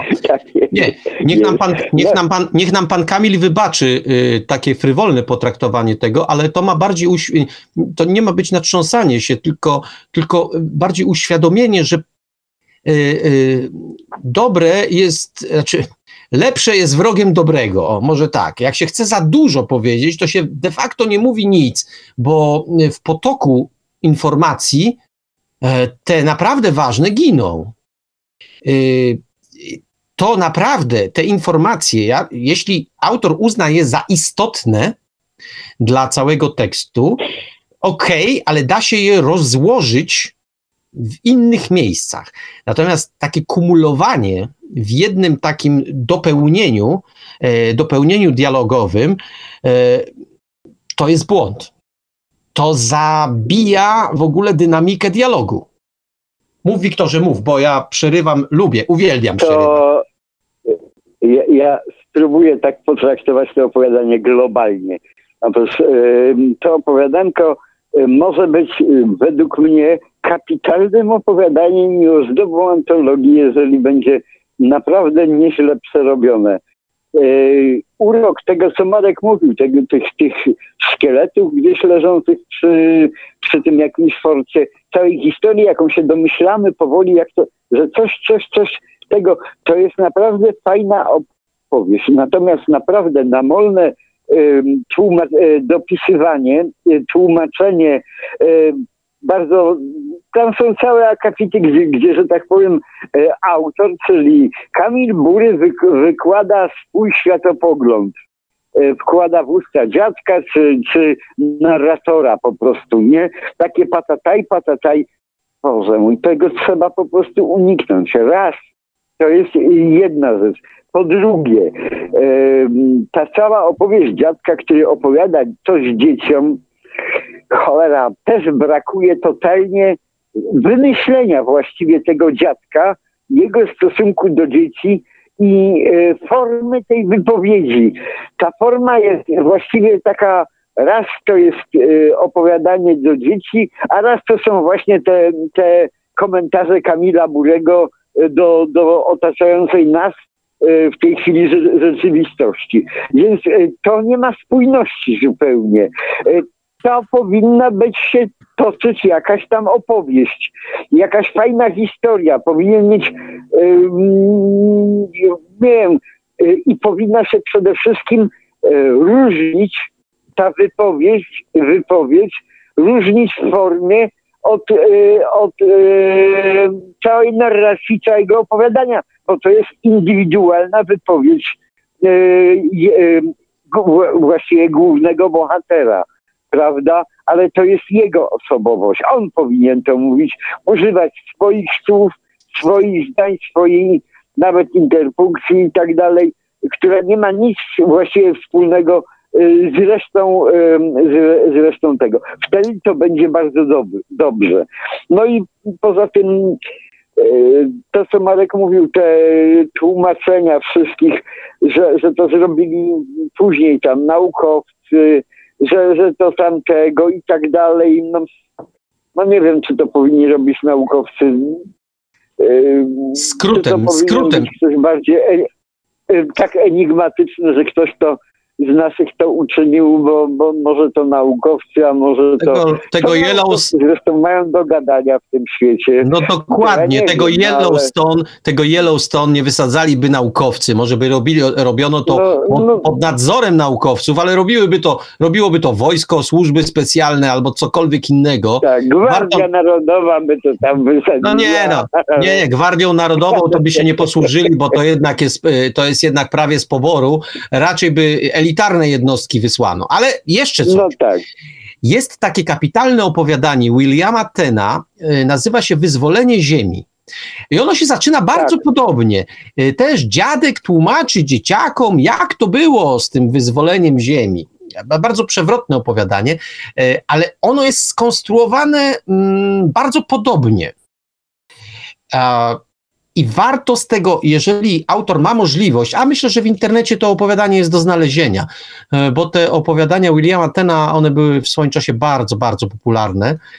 I e, szczerze polecam. E, Wyzwolenie Ziemi, William Ten, bo to jest znowu taki mały majstersztyk, na którym warto się wzorować. Tam też pewne rzeczy nie są dopowiedziane, a jeśli są dopowiedziane, to raczej w formie zabawnych historii, które tak naprawdę układają się w pewną, ja wiem, wcale nie wesołą historię. Poza tym, y, y, ja myślę, że u pana Kamila, y, oczywiście w mojej głowie to się wyeksponowało, ale w samym tekście się to nie eksponuje. Przecież tu jest poruszony tak naprawdę wśród wielu różnych problemów jeden z takich, taki oto problem. Który my, na przykład y, my dzisiaj sobie nie zdajemy z tego sprawy, bo na przykład czytamy teorie spiskowe, jak to chemtrialsy y, na niebie tam nam coś robią z atmosferą, a to jedni mówią, że zatruwają, drudzy, że czynią mgłę i się promienie nie przebijają. No, wiecie Państwo mniej więcej, jak te teorie, y, jak te teorie wyglądają. I teraz wszyscy mówią, o, to chcą nas zamordować ci podli kapitaliści, ci wyznawcy, wyznawcy e, nowego porządku, albo i tak dalej, i tak dalej. A jeśli y, jest właśnie tak, że może oni, my myślimy, że oni chcą nas wszystkich wymordować, a oni nas chronią przed tymi obcymi, no, mniej więcej do tego nawiązuje autor. I y, przecież y, ta przewrotność rzeczywistości jest właśnie na tym polega, że to, co wydawać by się mogło, y, doprowadziło do katastrofy, zresztą to, to się dzieje w tym opowiadaniu, ale nie jest eksponowane. Ono się tam toczy tak niezależnie i nikt na to nie zwraca uwagi. Mnie nie chodzi o to, żeby autor, broń Boże, żeby nieraz mówił, a to tak powinno być, że nie, tego nie trzeba komentować, to raczej trzeba wyeksponować. To jest osobna sztuka.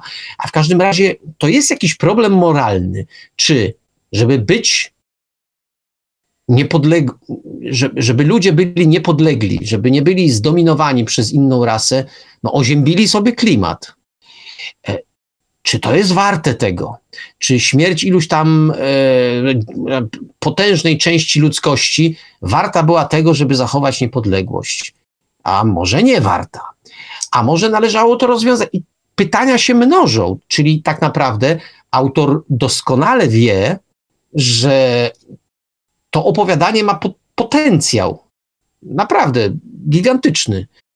Natomiast y, moim zdaniem nie rozegrał dobrze tych, tych wątków, y, bo część gdzieś tam przemyka, zupełnie tak domyśl się, domyśl się czytelniku, okej, okay, czytelnik miałby nawet na to szansę, ale jeśli jednocześnie w tym samym opowiadaniu serwowane są e, przemyślenia autora na, na, inne tematy, to y, tak się niestety dzieje, że y, nasz czytelnik skupia się na tych właśnie przemyśleniach, a one są jakby takie bliskie, no bo mm, łatwiej podane.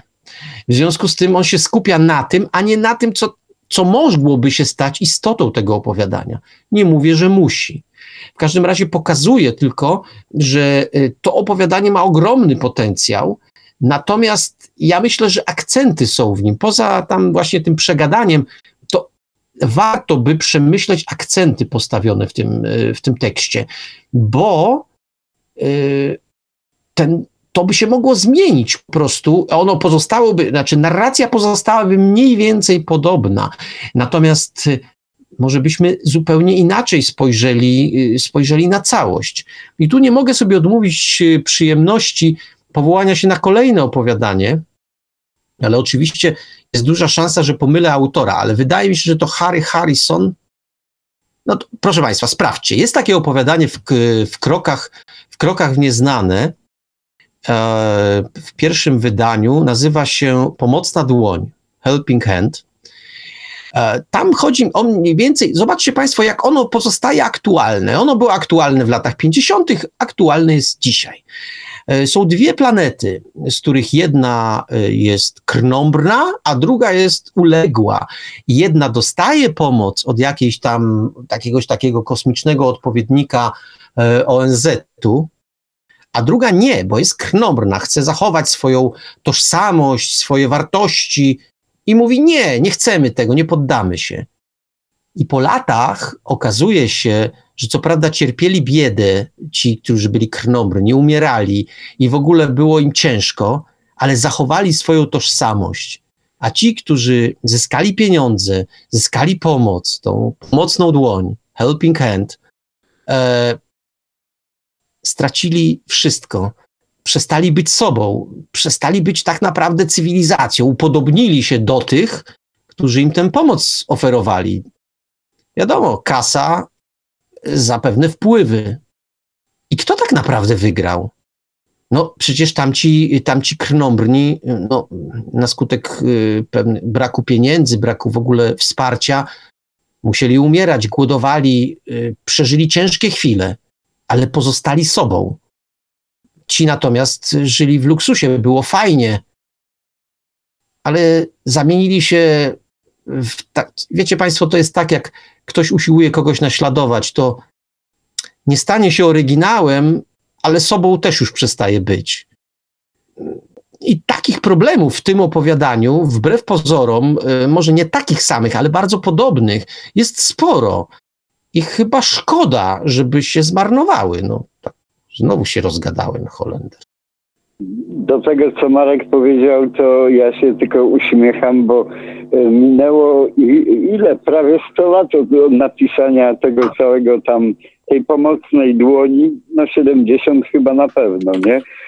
No, e, minęło, minęła jakaś e, rzeczywistość, która wtedy była, e, no może tam były wtedy plany Marszala, jakoś tam się nie udały do końca, albo się myśmy się w każdym razie nie załapali. Natomiast e, dzisiaj mamy pomocną dłoń Brukseli. E, wszystko ma swoje plusy i minusy. Doraźne, doraźne korzyści nie muszą być korzyściami e, długodystansowymi. i tak dalej, i tak dalej. Ale to są dywagacje takie zupełnie na rybkę. Ja też bym powiedział, że, że wracając do samego opowiadanka, opowiadanko ma potencjał, jak Boga kocham, bardzo duży. Gdyby to wszystko przełożyć, zresztą ja się powołam, jak Marek się powołał na dwa opowiadania mistrzów, to ja się też powołam na jedno opowiadanie, Sekunda, sekunda, sekunda, sekunda. Ja tylko sprawdziłem, to oczywiście no, nie mogłem powiedzieć dobrze, to nie Harry Harrison, ale inny mistrz, Paul Anderson, napisał opowiadanie Helping Hand, tak Pomocna dłoń. Już oddaję Ci głos. Tak. E, ja się powołam na opowiadanie mm, Kamila Burego, czyli e, to, które żeśmy słuchali troszkę wcześniej, to niezręczne lekarstwo z tym kościejem. Ono jest właśnie, tamto opowiadanko jest rozegrane mniej więcej tak, jak powinno być to rozegrane opowiadanie. O wiele bardziej enigmatycznie, bez, bez tłumaczeń, bez tego. Yy, czyli tak, autor wiadomo, że potrafi, umie to zrobić, tylko teraz zastosować tę receptę lekarstwa, że tak powiem, na, na, na tym ciele yy, kolejnym i wtedy, wtedy może być to, bo to opowiadanie może być spokojnie długie, bo to jest pewna opowieść. Ono, to nie musi być short, to opowiadanko ma taki klasyczny wymiar bo sama opowieść się tego, tego, do tego doprasza zupełnie. I jak, jak się to podrasuje, to może być wyśmienite opowiadanko, a ja tylko dobiję autora. Yy, jak już powiedziałem, że może być wyśmienite. Yy, kolejnym, trzecim tytułem tego autora. Otóż jaka jest reakcja fizjologiczna każdego właściwie czytelnika, który siada do opowiadania i ma tytuł. Jeszcze jedna historia. Eee, wszyscy dostają ziewa po prostu, nie? Tytuł tego opowiadanka, jak poprzednie zresztą, jest e, piętą Achillesa autora. No po prostu to znaczy nie piętą Achillesa, tylko piętą Kamila Burego. A, a Wiktorze, a zobacz, zobacz, E, ja powołałem się na opowiadanie Williama Tena Wyzwolenie Ziemi. Oczywiście ten tytuł jest zastrzeżony, znaczy nie zastrzeżony, no ale nie warto. Ale gdyby to opowiadanie miało tytuł Wyzwolenie Ziemi, to by było tak przewrotne. No przecież wyzwolili Ziemię, bo schłodzili klimat i w związku z czym obcy nie przylecieli. No nie wiem, powtórne wyzwolenie no Ziemi. No ja wiem, za, zarezerwowane, ale w tym kierunku bym pomyślał na miejscu pana Kamila. Tak, tak, tak, tak. Tu aż się prosi, żeby, żeby, żeby strzelać e, e, z rewolweru, a nie, a nie caskać się, nie pieścić, nie, nie głaskać mm, czytelnika. Wszystkie te trzy opowiadanka powinny mieć e, dużo lepsze tytuły, bo na to zasługują po prostu. To podsumowując dzisiejsze nasze spotkanie, proszę Państwa. Otóż y, mamy opowiadanie Jacka Fleischressera. My z Wiktorem stawiamy na, tę, y, na ten przełom kulinarny. Y, z tymi wszystkimi uwagami, ale to jest opowiadanie, które naszym zdaniem zupełnie spokojnie po, po, po, po, po tych poprawkach, zupełnie spokojnie może, może startować. Zapraszamy. W każdym razie czekamy na nie. Dalej, opowiadanie Marka Myszograja, y, grudniowa kwantomatyka. Spokojnie, zapraszamy z tymi uwagami, o których mówiliśmy. Opowiadanie y, Kamila Burego, y, to, które obecnie nazywa się Lekarstwo, to właściwie już jest w tym tomie. A dwa następne, czyli teoria Schrödingera i jeszcze jedna historia, po przeróbkach bardzo się cieszymy, że będziemy mogli z, również z tymi tekstami e, w tomie obcować. No niemniej jednak, niemniej jednak wymagają one poprawki, poprawek, poprawek, poprawek, poprawek. Do czego namawiamy? Po prostu. Tak, Wiktorze. To myśmy doszli już w tej chwili e, do etapu do etapu mowy końcowej. Obiecałem, obiecałem krótką przemowę o przecinkach, No więc y, tym wszystkim, którzy właśnie chcą y, się rozłączyć i już nie słuchać pierdzielenia o przecinkach, bo chyba nie ma nic nudniejszego, mm, to od razu mówię, że ja nie będę w tej chwili wykładał Państwu zasad stawiania przecinków, tym bardziej, że one są dosyć rozbudowane w języku polskim i, i, i, i zgłębienie tego wymagałoby czasu. Poza tym, wiecie Państwo, no jaki jest sens tego, że ja niniejszym wygłoszę ileś tam zasad? Hmm, nie, to kompletnie bez sensu. Natomiast y, warto pamiętać o jednej rzeczy. I to często umyka mm, autorom, y, tym, którzy chcą być hiperpoprawni. Bo mm, winą tu, taka jest moja prywatna teoria, winę za to ponoszą, e, ponosi niezła znajomość angielskiego e, wśród współczesnych młodych Polaków, e, ponieważ w języku angielskim stawianie przecinków jest jednak obwarowane no, pewnymi dosyć ścisłymi zasadami. Ja oczywiście nie jestem specjalistą od języka angielskiego, ale z tego, z tego co, jak to się mówi, zasięgałem języka, wiem, że no jednak język angielski pod tym względem jest dosyć sztywny. To znaczy, tam wiadomo, gdzie postawić przecinek, a gdzie go nie stawiać, i tam wątpliwości jest mało. Natomiast język polski poza systemem zasad, takich ściśle określonych, odtąd dotąd, tu stawiamy przycinek, tu go nie stawiamy, e, tu możemy, e, tu raczej nie zalecamy, ma całą masę mm, czegoś, co nazwałbym intuicyjnością. E, przecinek można stawiać, oczywiście nie bez sensu, nie wszędzie, gdzie nam się podoba, natomiast jeśli chcemy oddzielić pewne części wypowiedzi, pewne części zdania, to jeśli nawet w sposób taki mm, gramatyczny, czy w sposób taki um, czysto słownikowy, przycinek się tam nie należy, to czasami warto tam przycinek wstawić. To troszeczkę działa na tej zasadzie, że przycinek działa na zasadzie pauzy. Y, jeśli ktoś mówi, mówi, mówi, to warto mu od czasu do czasu w tę wypowiedź przecinek wstawić, bo inaczej się udusi. To co sławny, sławny dowcip, że y, to jest to miejsce, w którym bohater y, mówiący, czy też narrator nabiera oddechu. I tak jest w języku polskim. To oczywiście niektórzy powiedzą, to w ogóle język polski jest bez sensu, bo nie kieruje się żadnymi zasadami, ależ kieruje się, kieruje, oczywiście, że się kieruje, tylko warto pamiętać, że poza tymi ścisłymi zasadami jest ta intuicyjność. No cóż, no. Mogę? Jasne, oczywiście. Mogę? Tak. Żeby zobrazować to, co przed chwilą Marek mówił, e, dam przykład taki.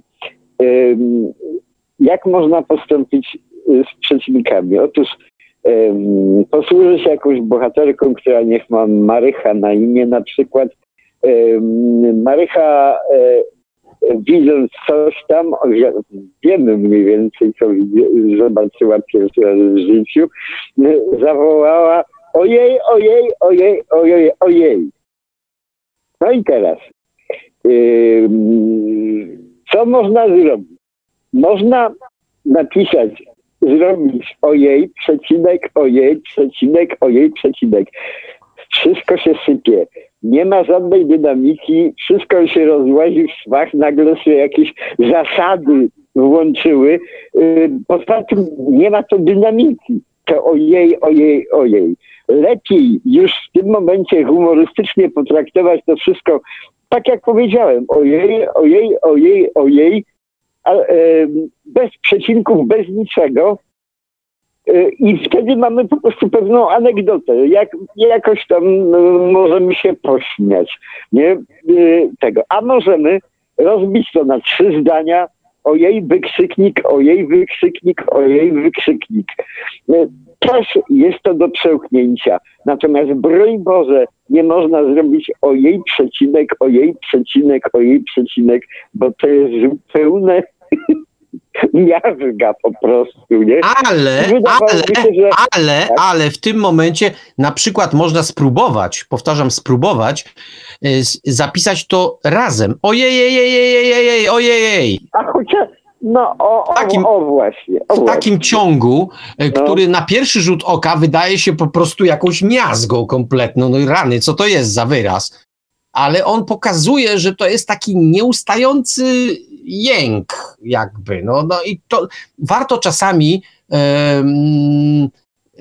w, wbić się w intencje osoby mówiącej w naszym utworze, czemu to tak naprawdę służy, dlaczego to jest powiedziane tak, a nie inaczej. I w zależności od tego, czemu to służy, używać tych znaków, czyli albo to zbić razem, albo z tymi wykrzyknikami, o których mówił Wiktor co więcej, Wiktor, ja nawet będę taki, że ja sobie jestem w stanie wyobrazić taką postać. Ona musiałaby w specyficzny sposób mówić. To trzeba by najpierw podprowadzenie zrobić do tego, yy, która mogłaby mówić ojej, ojej, ojej, ojej. Tylko to musiałby być specyficzny facet albo kobitka, którzy w specyficzny sposób mówią taki wiesz, dziwny, to wtedy ta mhm. dziwność tymi przecinkami mogłaby być podkreślona. I ja sobie to wyobrażam, ale podkreślam, ilość słów, których użyłem do tego, żeby zrobić to wprowadzenie do tych przecinków, pokazuje, że to ojej przecinek, ojej przecinek, ojej przecinek i ojej trzeba by najpierw dobrze przygotować, żeby to, tego w ogóle użyć. Więc to w gruncie rzeczy, w gruncie rzeczy sztuka pisania to jest sztuka wyczuwania pewnych kontekstów, które się pojawiają. Tak sobie myślę. Ja bym, e, Marek, e, miał propozycję, że e, taką na pierwszą rybkę zupełnie. Otóż przy tych wszystkich zasadach, istniejących zasadach, czy w angielskim, czy, czy w języku polskim, szczególnie w, tutaj przy polskim y, wzorcu takim językowym gdzieś stawia się przecinek i tak dalej. Można tego wszystkiego nad tym panować, mm, można to brać na wyczucie, y, ale warto być może czasami posługiwać się zwykłą rozsądkiem i zbiorową logiką. Wtedy tylko żeby się tym posłużyć, trzeba y, tak myśleć po prostu nad tekstem y, i tak widzieć tekst. Posługiwać się logiką. Czy ten przecinek jest logicznie w zdarzeniu potrzebny, czy niepotrzebny, czy na przykład estetycznie nie, nie psuje nam y, formy przekazu. Bo, bo mnożenie tych przecinków ponad miarę to jest, y, to jest, to grzech totalny po prostu. Czasami lepiej potraktować nonszalancko ten język i szczególnie w wypowiedziach, y, w, w, w mowie takiej poto, poto, potocznej, nie? No bo już, y, no i tak dalej, i tak dalej. Wszyscy wiemy o co chodzi. Tak, a wiesz, bo, bo, to wszystko, tak jak powiedziałeś, y, mm, dużo zależy od kontekstu, w, jakich używamy, w, jakim używamy, w jakim używamy języka, bo co innego wypowiedź y, bohatera, co innego wypowiedź narratora.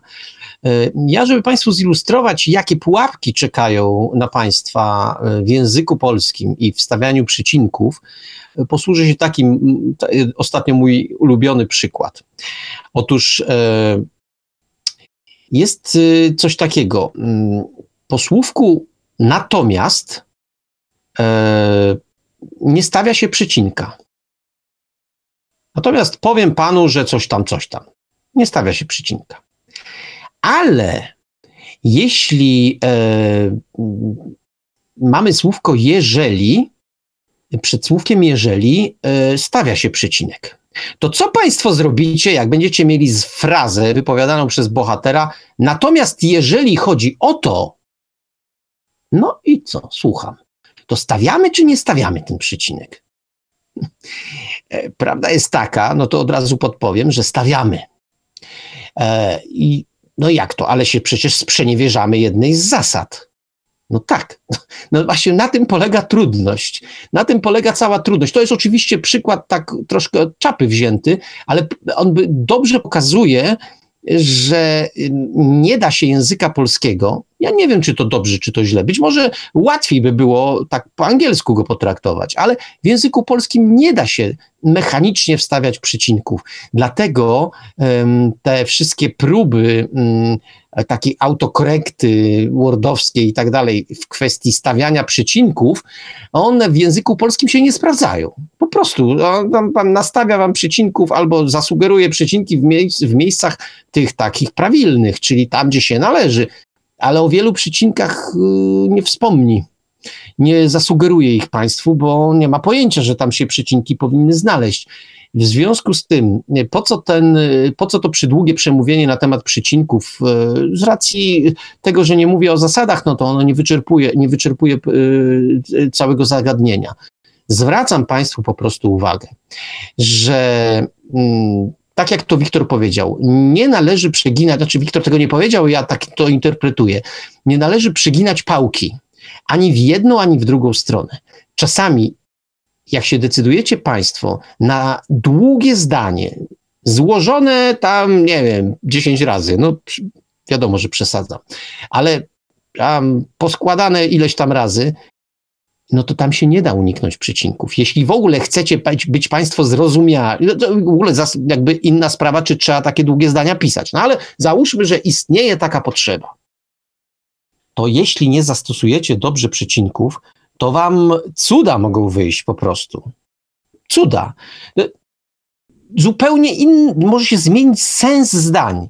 Jeśli zdania wtrącone nie będą y, y, jakby oddzielone przecinkami od pozostałej części tekstu, to się naprawdę dzieją rzeczy, które, które no, jednych mogą rozbawić, drugich mogą zirytować, a, a, a na pewno nie będą miały te, te, to, co odczytają ludzie, będzie miało czasami niewiele wspólnego z tym, jakie były intencje autora.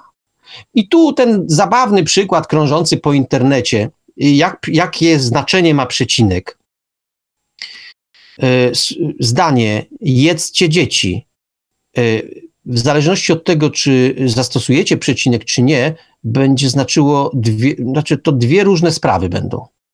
Raz to będzie, no, raz to będzie nawoływanie do kanibalizmu, a raz y, apel do dzieci, żeby jadły.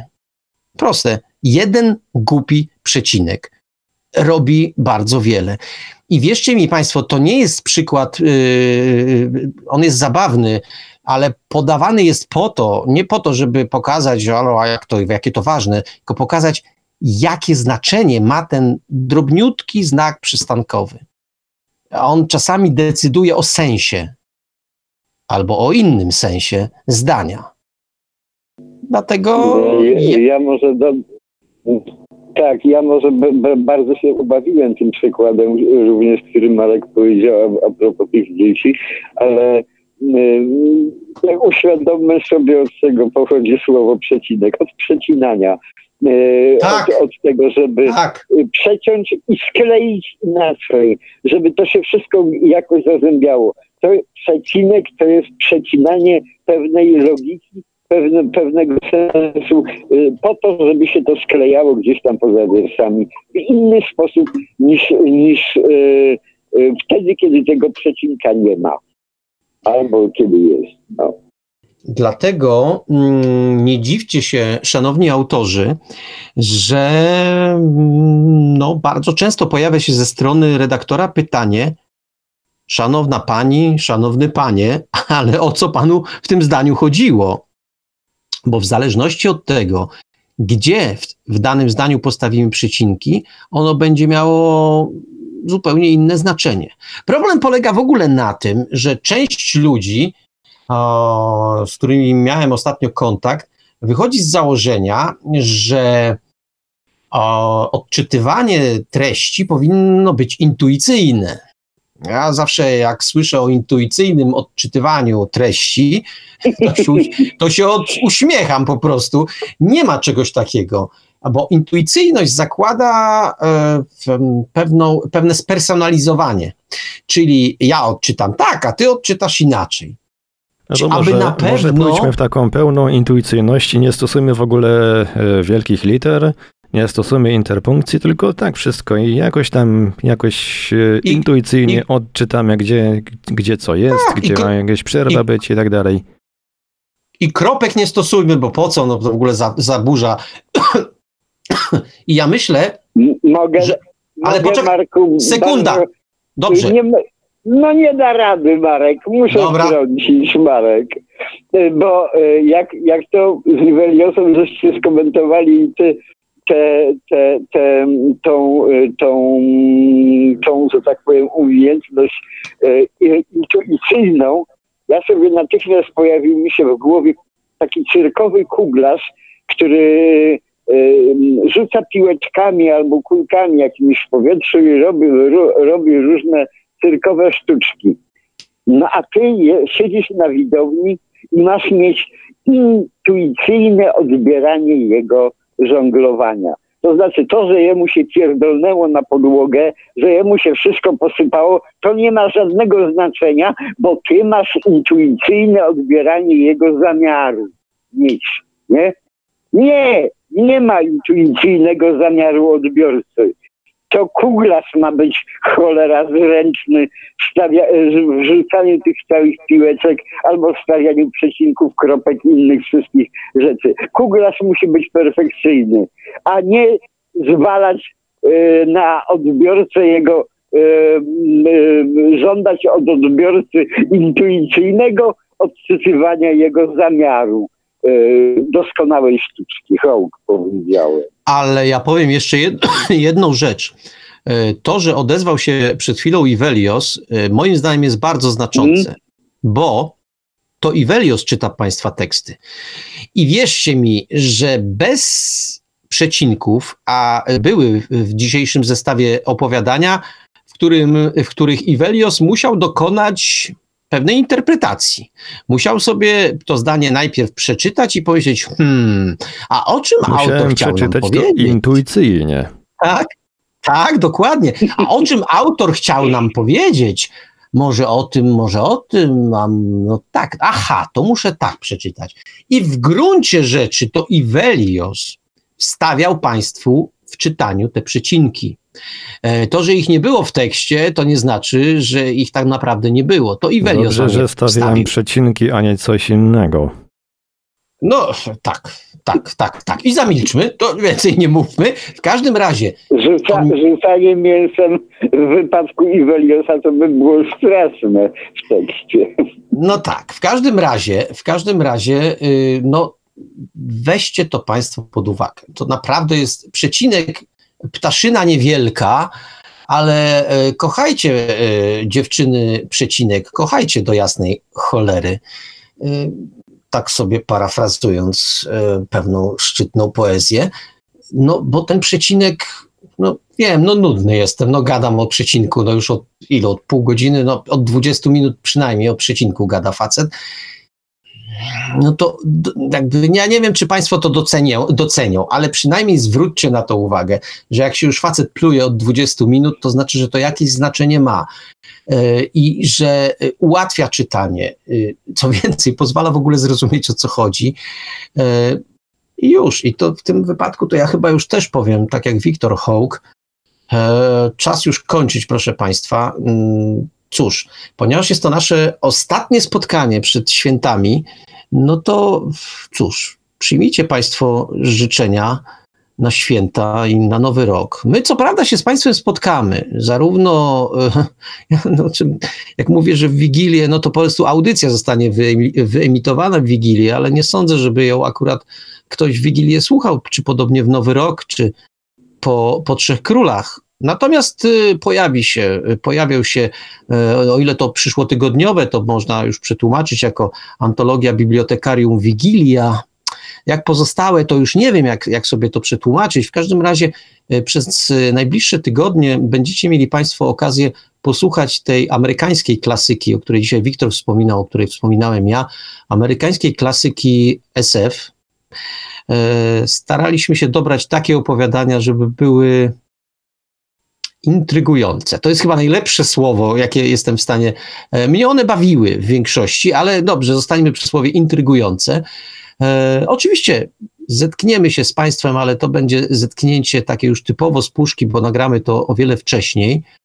No, to jest chyba dobry czas, żeby w ten dla nas czwartek, dla Państwa piątek złożyć jak najpiękniejsze życzenia na święta i na nowy rok. Ja rozumiem, Wiktorze, że Ty się przyłączasz. Ja zamysł graję. No. Mogę? Jak najbardziej. Niech was wszystkich dotyka ta grudniowa kwantomatyka. Hmm. Dlaczego ja nie jestem taki jak Wiktor i nie potrafię tak szybko puentować wszystkiego? Muszę się nagadać, nagadać. Wiktor powie jedno zdanie i w ogóle czas kończyć audycję, proszę Państwa. To nie ja, tylko graj. Zdecydowanie czas kończyć audycję. Pięknie Państwu dziękujemy. Życzymy wszystkiego dobrego. Tak jak powiedziałem, przez najbliższe tygodnie spotykacie się Państwo z ABW w Puszce. A co się zdarzy na początku stycznia? No cóż, to nasza słodka tajemnica. E, będzie ciekawie. Na pewno nietypowo, a w dodatku mamy do tego dobrą okazję. Także do usłyszenia się z Państwem na żywo e, w nowym roku. Dobrej nocy życzymy. Dobranoc. A mówili ze sobą do Państwa jak zawsze panowie z ABW, Marek Żelkowski i Wiktor Żwikiewicz. Audycję jak zawsze o stronie technicznie obsługiwał Marek Sęgiewelios, Radio Paranormalium, Paranormalny Głos w Twoim domu. Dziękujemy za uwagę, dobranoc i do usłyszenia ponownie, tym razem ponownie w ABW. Już za tydzień, już za dwa tygodnie, już za trzy tygodnie i po nowym roku już na żywo w tym normalnym bibliotekarium. Trzymajcie się i do usłyszenia. BIOS. Bibliotekarium.pl i Radio Paranormalium prezentują ABW Antologia Bibliotekarium Warsztaty